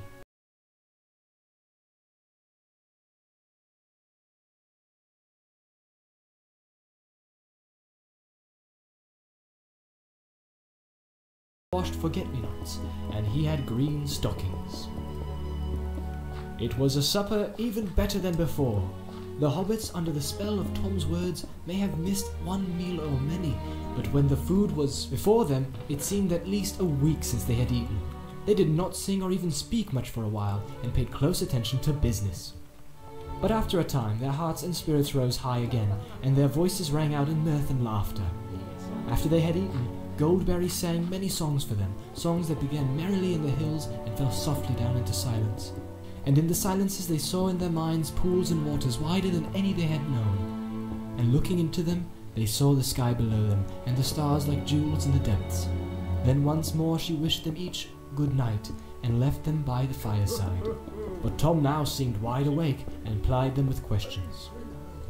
He appeared already to know much about them and all their families, and indeed to know much of all the history and doings of the Shire, down from days hardly remembered among the hobbits themselves. It no longer surprised them, but he made no secret that he owed his recent knowledge largely to Farmer Maggot, whom he seemed to regard as a person of more importance than they had imagined. There's earth under his old feet, and clay on his fingers, wisdom in his bones, and both his eyes are open, said Tom. It was also clear that Tom had dealings with the elves, and it seemed that in some fashion news had reached him from Gildor concerning the flight of Frodo. Indeed, so much did Tom know, and so cunning was his questioning, that Frodo found himself telling him more about Bilbo and his own hopes and fears than he had that he had told before, even to Gandalf. Tom wagged his head up and down, and there was a glint in his eyes when he heard of the riders. Show me the precious ring. he said suddenly, in the midst of the story. And Frodo, to his own astonishment, drew out the chain from his pocket, and unfastening the ring, handed it at once to Tom. It seemed to grow larger as it lay for a moment on his big brown-skinned hand. Then suddenly he put it to his eye and laughed. For a second, the hobbits had a vision, both comical and alarming, of his bright blue eye gleaming through a circle of gold. Then Tom put the ring round the end of his little finger and held it up to the candlelight. For a moment, the hobbits noticed nothing strange about this. Then they gasped. There was no sign of Tom disappearing. Tom laughed again, and then he spun the ring in the air, and it vanished with a flash. Frodo gave a cry, and Tom leaned forward and handed it back to him with a smile. Hmm. Frodo looked at it closely and rather suspiciously, like one who has lent a trinket to a juggler. It was the same ring, or looked the same and weighed the same. That ring had always seemed to Frodo to weigh strangely heavy in the hand. But something prompted him to make sure. He was perhaps a trifle annoyed with Tom for seeming to make so light of what even Gandalf thought so perilously important. He waited for an opportunity. When the talk was going on again, and Tom was telling an absurd story about badgers and their queer ways, then he slipped the ring on. Merry turned towards him to say something and gave a start and checked an exclamation. Frodo was delighted, in a way. It was his own ring, all right. For Merry was staring blankly at his chair and obviously could not see him. He got up and crept quietly away from the fireside towards the outer door. Hey there! cried Tom, glancing towards him with the most seeing look in his shining eyes. Hey, come, Frodo there! Where be you a going? Old Tom Bombadil's not as blind as that yet. Take off your golden ring, your hand's more fair without it. Come back, leave your game and sit down beside me. We must talk a little while more, and think of the morning. Tom must teach the right road, and keep your feet from wandering. Frodo laughed, trying to feel pleased, and taking off the ring, he came and sat down again. Tom now told them that he reckoned the sun would shine tomorrow, and it would be a glad morning, and setting out would be hopeful. But they would not Okay, do well to start uh, early, for weather in that country was a thing that even Tom could not be sure of for long, and it would change some time, quicker than he could change his with. I jacket. don't want to deal with thunder. I am no weather master, He said, nor is up that goes on two legs. By his advice, they decided to make early due north from his house, over the western and lower slopes of the downs. They might hope in that way to strike the east road, in a day's journey, and avoid the barrows. He told them not to be afraid, but to mind their own business. Keep on the green grass. Don't you go a meddling with old stone or cold Wights or prying in their houses, unless you be strong folk with hearts that never falter. He said this more than once, and he advised them to pass barrows by on the west side if they chanced to stray near one. Then he taught them a rhyme to sing. If they should, by ill luck, fall into any danger or difficulty the next day, Oh, Tom Bombadil, Tom Bombadil, oh, by water, wood, and hill, by the reed and willow, by fire, sun, moon, and hearken now and hear us. Come, Tom Bombadil, for our need is near us. When they had sung this all together after him, he clapped them each on the shoulder with a laugh, and taking candles, led them back to their bedroom. I do like Tom Bombadil. He's born of the earth and uh, That night they heard no noises, but either in his dreams or out of them, he could not tell which. Frodo heard a sweet singing running in his mind, a song that seemed to come like a pale light behind a grey rain curtain, and growing stronger to turn the veil all to glass and silver, He's born of the earth. until at last it was rolled back, Which means he's caught of and a far green country opened before him under a swift sunrise. The vision melted into waking, and there was Tom whistling, corporeal like a tree full of birds, and the sun was already slanting down the hill and through the open window. Outside, everything was green and pale gold.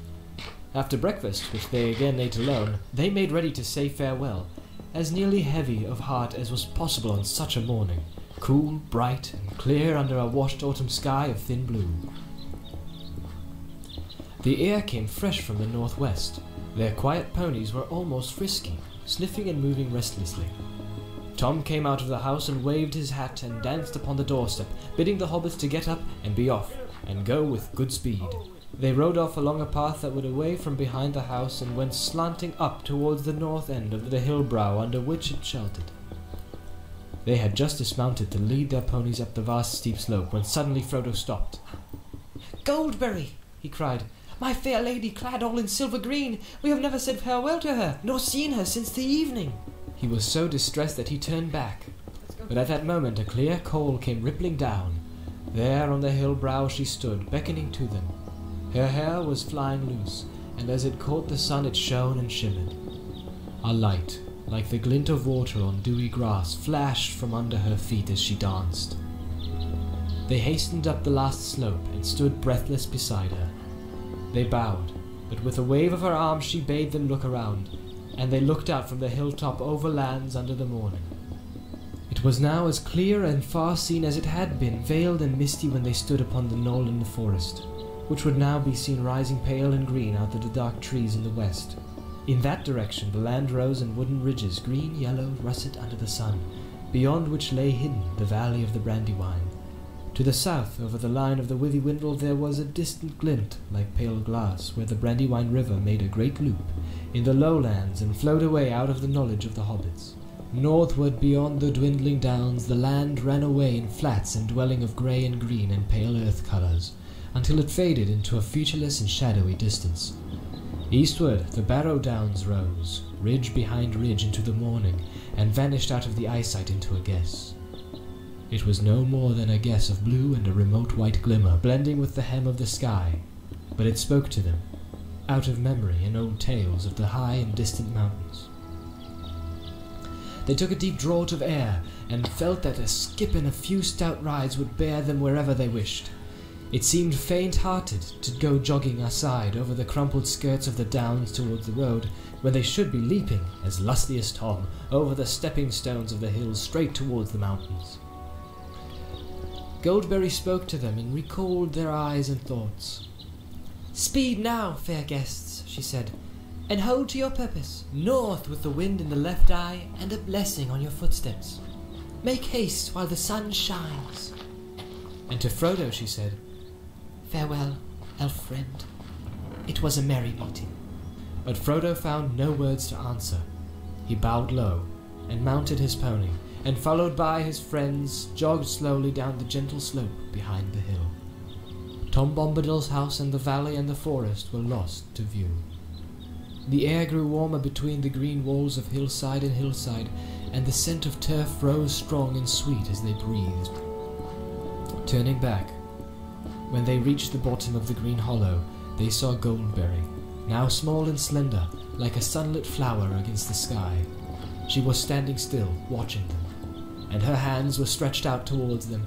As they looked, she gave a clear call, and lifting up her hand, she turned and vanished behind the hill. Their way round along the floor of the hollow, and round the green feet of a steep hill into another deeper and broader valley, and then over the shoulder of further hills, and down their long limbs, and up their smoother sides again, up on new hilltops, and down into new valleys. There was no tree nor any visible water. It was a country of grass and short springy turf, silent except for the whisper of the air over the hedges of the land, and high lonely cries of strange birds. There are a lot As they journeyed, the sun mounted and grew hot. I had some Each time they leads, I will climbed the ridge, the capture a few breeze seemed to have grown less. When they caught a glimpse of the country westward, the distant forest seemed to be smoking, as if the fallen rain was steaming up again from leaf and root and mould. A shadow now lay round the edge of sight, a dark haze above which the upper sky was like a blue cap, hot and heavy. About midday, they came to a hill whose top was wide and flattened, like a shallow saucer with a green mounded rim. Inside there was no air stirring, and the sky seemed near their heads.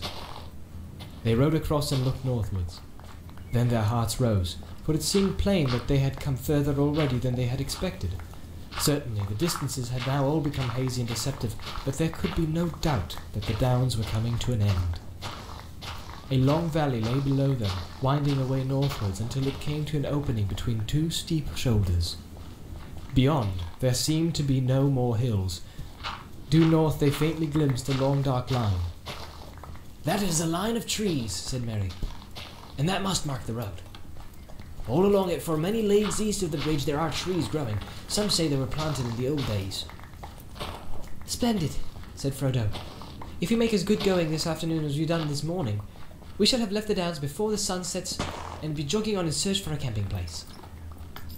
But even as he spoke, he turned his glance eastwards, and he saw that on the side the hills were higher, and looked down upon them, and all those hills were crowned with green mounds, and on some were standing stones, pointing upwards like jagged teeth out of green gums.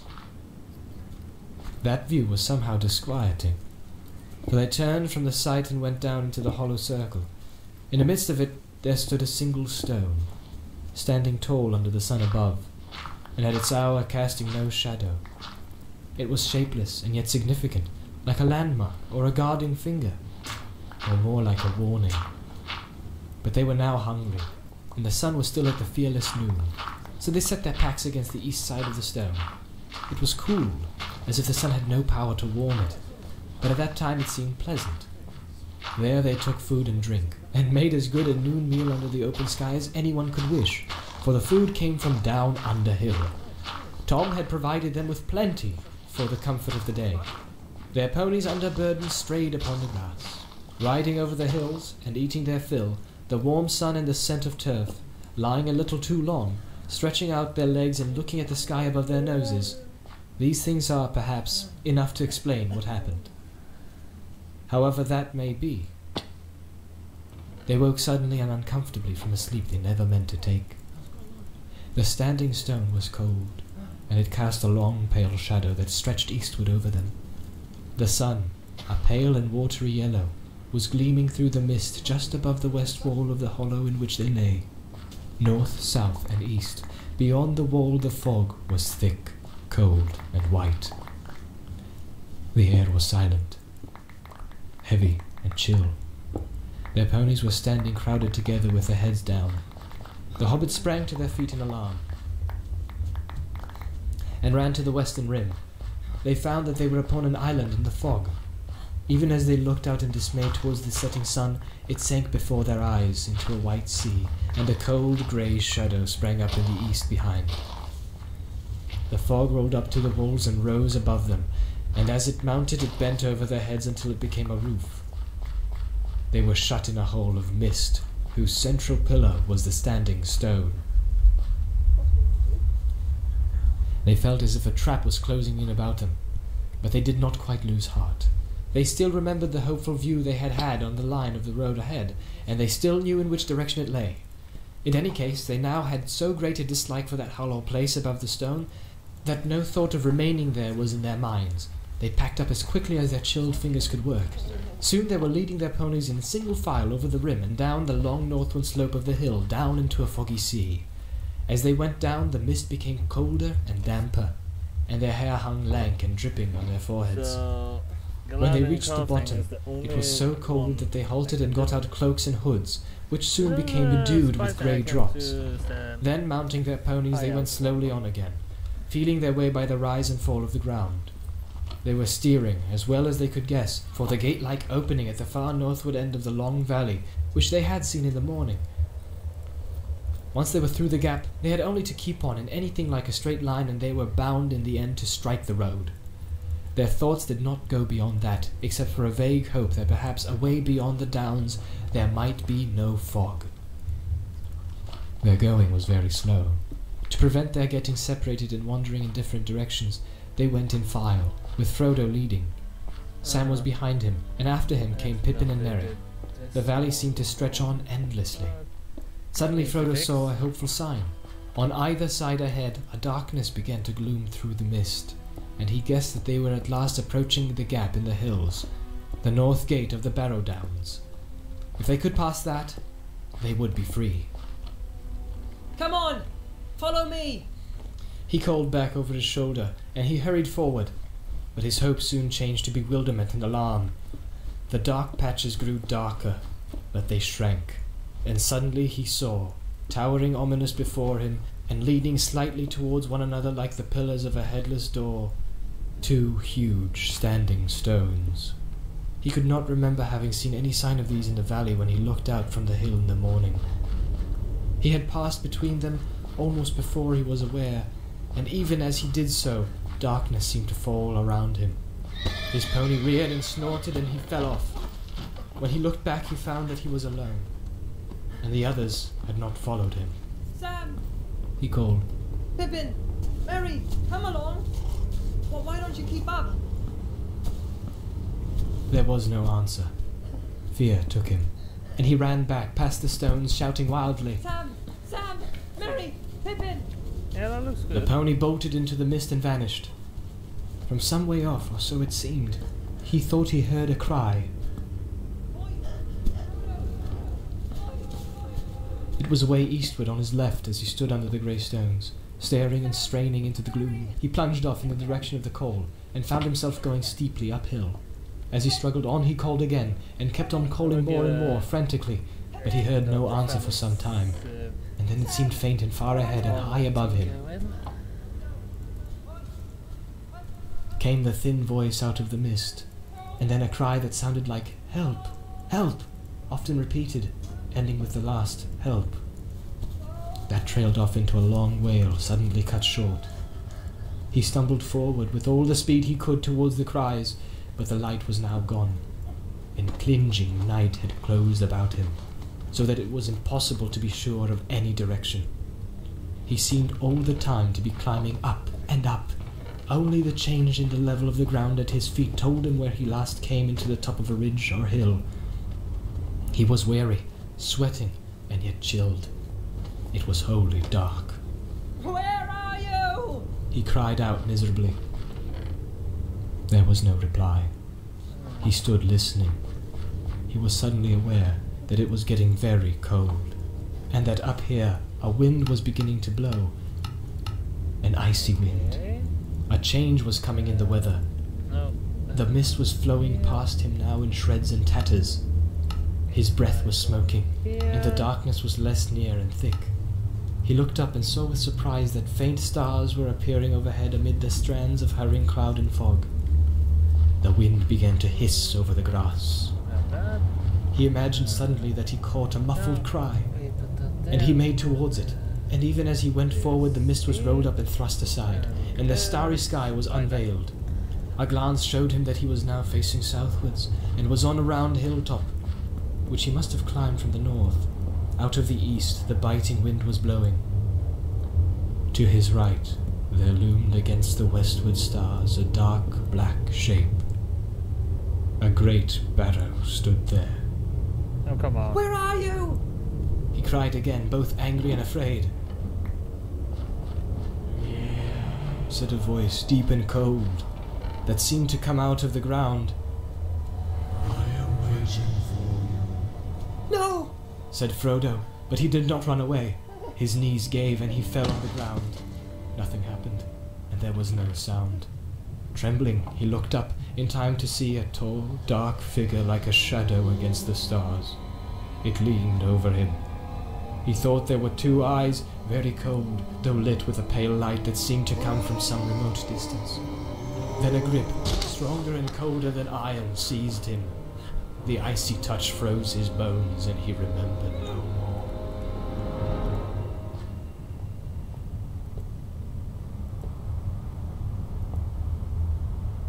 When he came to himself again, for a moment he could recall nothing except a sense of dread.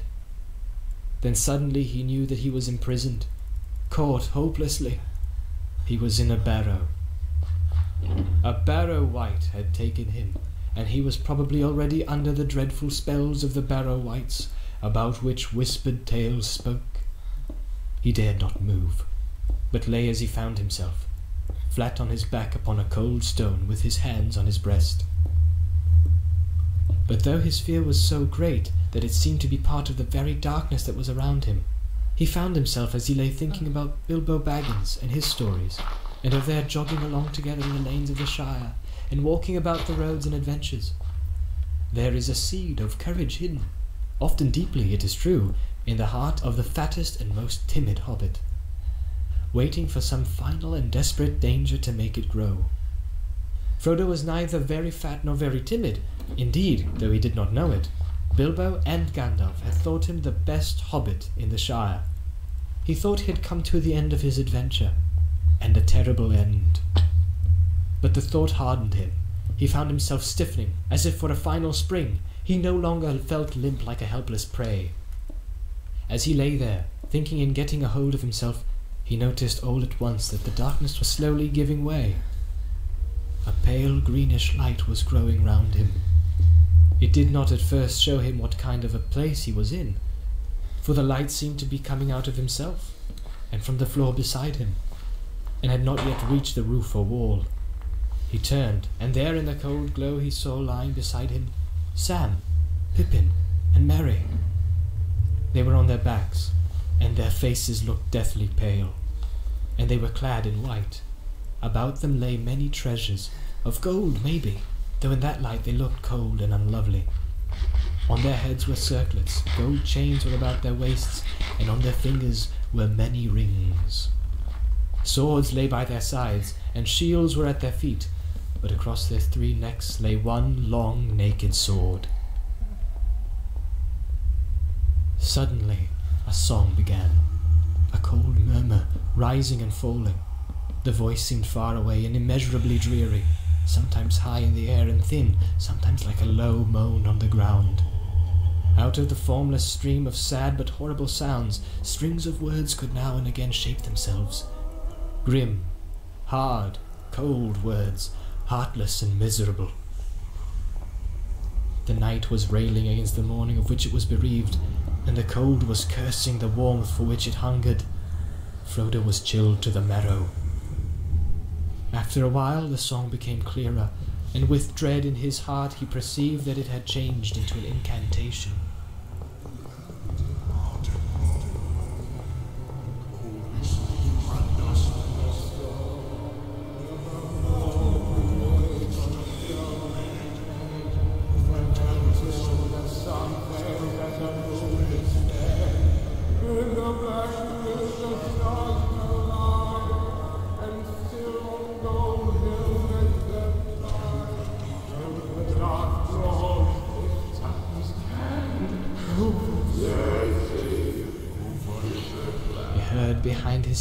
Creaking and scraping something to start sound. Raising himself on one arm, he looked and saw now in the pale light that they were in a kind of passage which behind them turned a corner.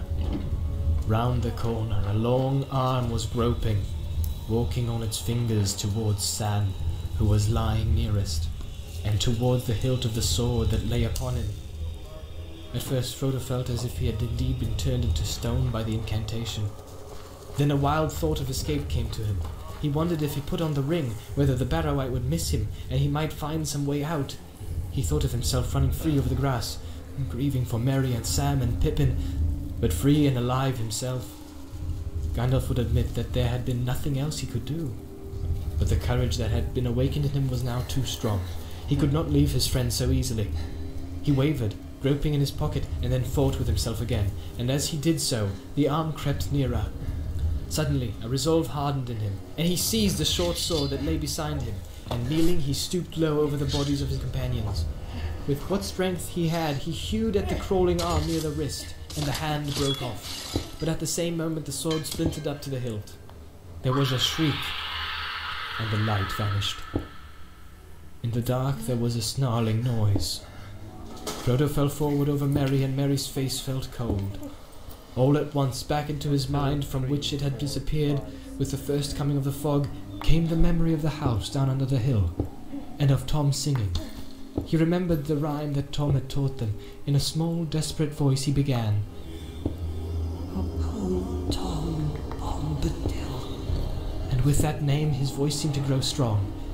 It had a full and lively sound, and the dark chamber echoed as if to a drum and trumpet. Tom Bombadil, Tom Bombadillo, by water, wood, and hill, by the reed and willow, by by fire, sun, and moon, hearken now and hear us. Come, Tom Bombadil, for our need is near us. There was a sudden deep silence, in which Frodo could hear his heart beating. After a long, slow moment, he heard plain, but far away, as if it was coming down through the ground or through thick walls, an answering voice singing, Oh, Tom Bombadil, he's a merry fellow. Life's blue is Jackie's, and his boots are yellow. None has ever taught him yet, for Tom is the master. His songs are stronger songs, and his feet are faster. There was a loud rumbling sound as of stones rolling and falling, and suddenly light streamed in. Real light, the plain light of day. A low door like opening appeared at the end of the chamber beyond Frodo's feet, and there was Tom's head, hat, feather, and all, framed against the light of the sun, rising red behind him. The light fell upon the floor, and upon the faces the three hobbits lying beside Frodo.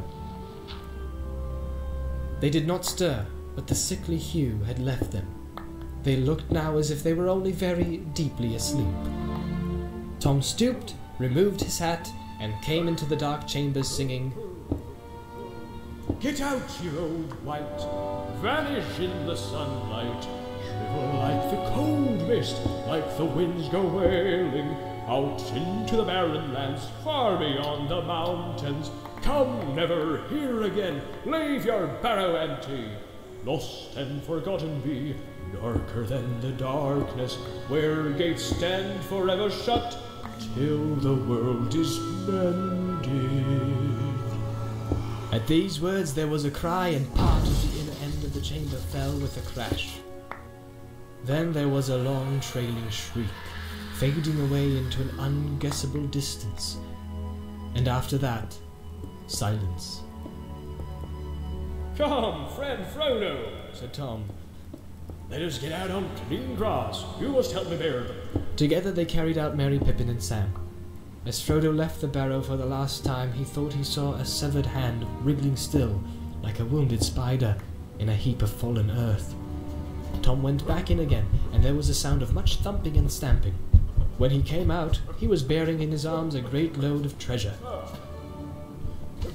Things of gold, silver, copper, and bronze, many beads and chains, and jeweled ornaments. He climbed the green barrow and laid them all on top in the sunshine. There he stood, with his hat in his hand and the wind in his hair, and looked down upon the three hobbits that had been laid on their backs upon the grass at the west side of the mound.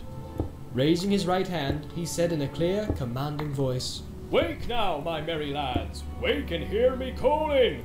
Warm now be heart and limb, the cold stone is fallen. Dark door is standing wide, dead hand is broken, night under night has flown, and the gates are open! To Frodo's great joy, the hobbits stirred, stretched their arms, rubbed their eyes, and then suddenly sprang up. They looked about in amazement, first at Frodo, and then at Tom standing larger as life on the barrow top above them, and then at themselves in their thin white rags, crowned and belted with pale gold and jingling with trinkets.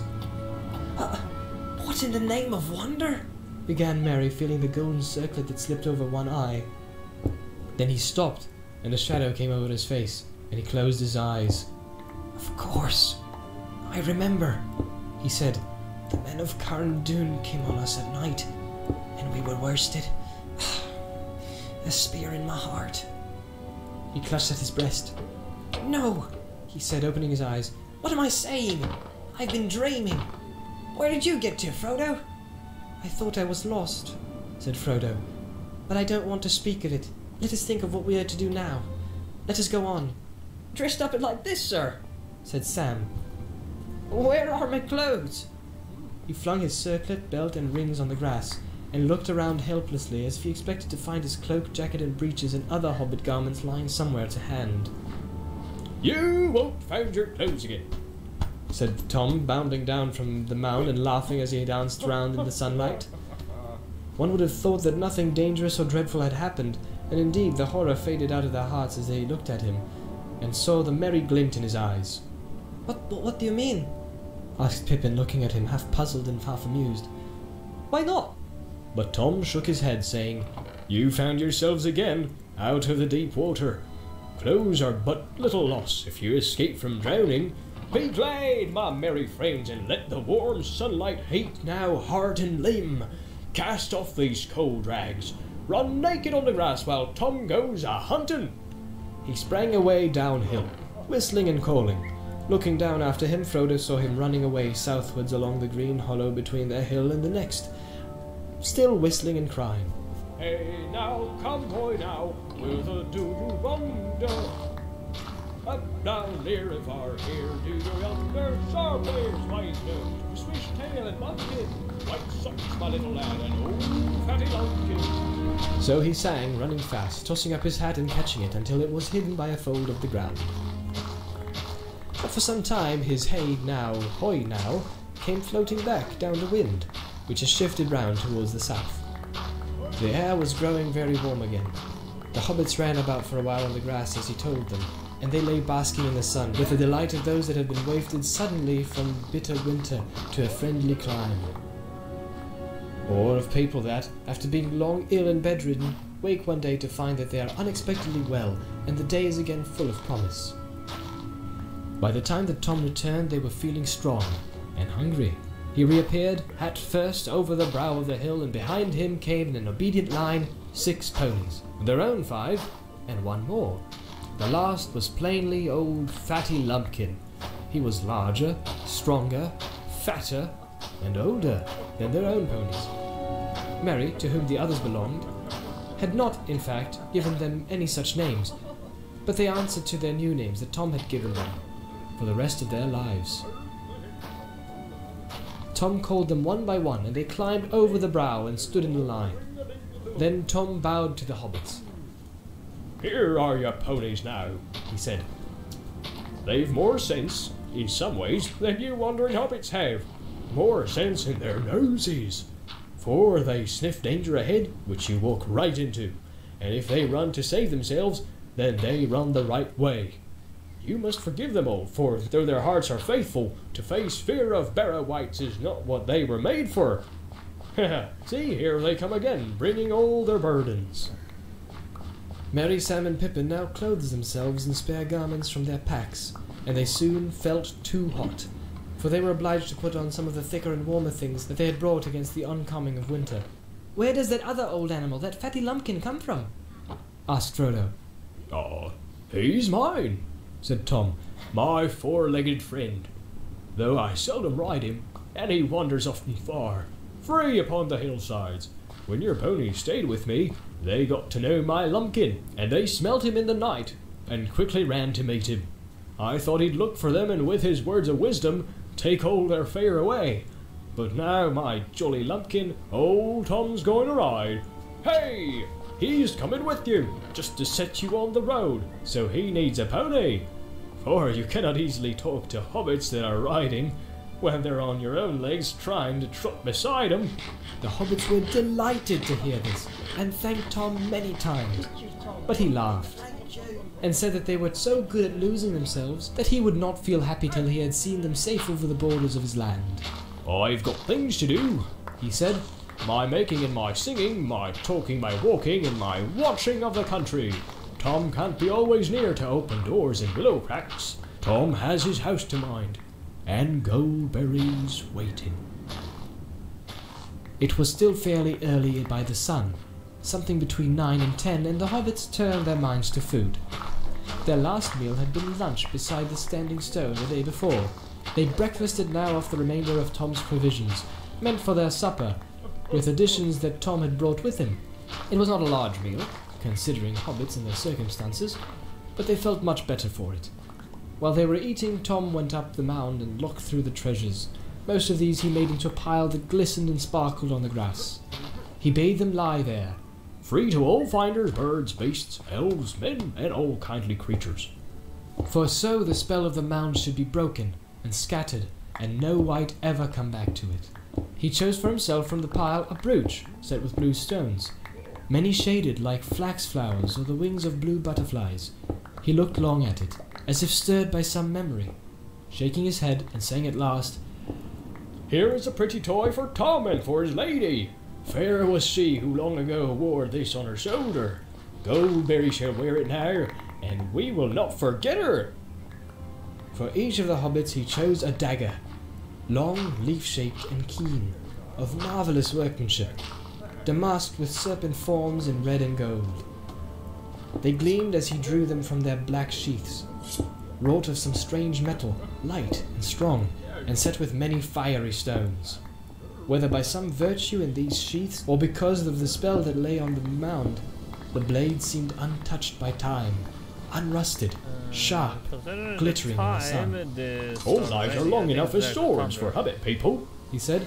Sharp blades are good to have if shire folk go walking, east, south, or far away into dark and danger. Then he told them that these blades were forged many long years ago by men of Westernesse. They were foes of the Dark Lord, but they were overcome by the evil king of Carn Dûm in the land of Angmar. Hmm, few now remember them, Tom murmured. Yet still some go wandering, sons of forgotten kings, walking in loneliness, guarding from evil things, folk that are heedless. The Ah, hobbits did not understand his words, but as he spoke, they had a vision, as it were, of a great expanse of years behind them, like a vast shadowy plain over which there strode shapes of men, tall and grim, with bright swords, and last came one with a star on his brow. Then the vision faded, and they were back in the sunlit world. It was time to start again. They made ready, packing their bags and ladding their ponies. Their new weapons they hung on their leather belts under their jackets, feeling them very awkward and wondering if they would be of any use. Uh, Fighting had not before occurred to any of them as one of the adventures in which their flight would land them. At last they set off, and then mounting they trotted quickly along the valley. They looked back and saw the top of the old mound on the hill, and from it the sunlight on the gold went up like a yellow flame. Then they turned a shoulder of the downs, and it was hidden from view. Though Frodo looked about him on every side, he saw no sign of the great stone standing like a gate, and before long they came to the northern gap and rode swiftly through, and the land fell away before them.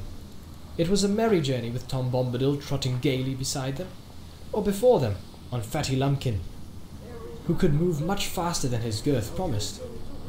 Tom sang most of the time, but it was chiefly nonsense, or else perhaps a strange language unknown to the hobbits.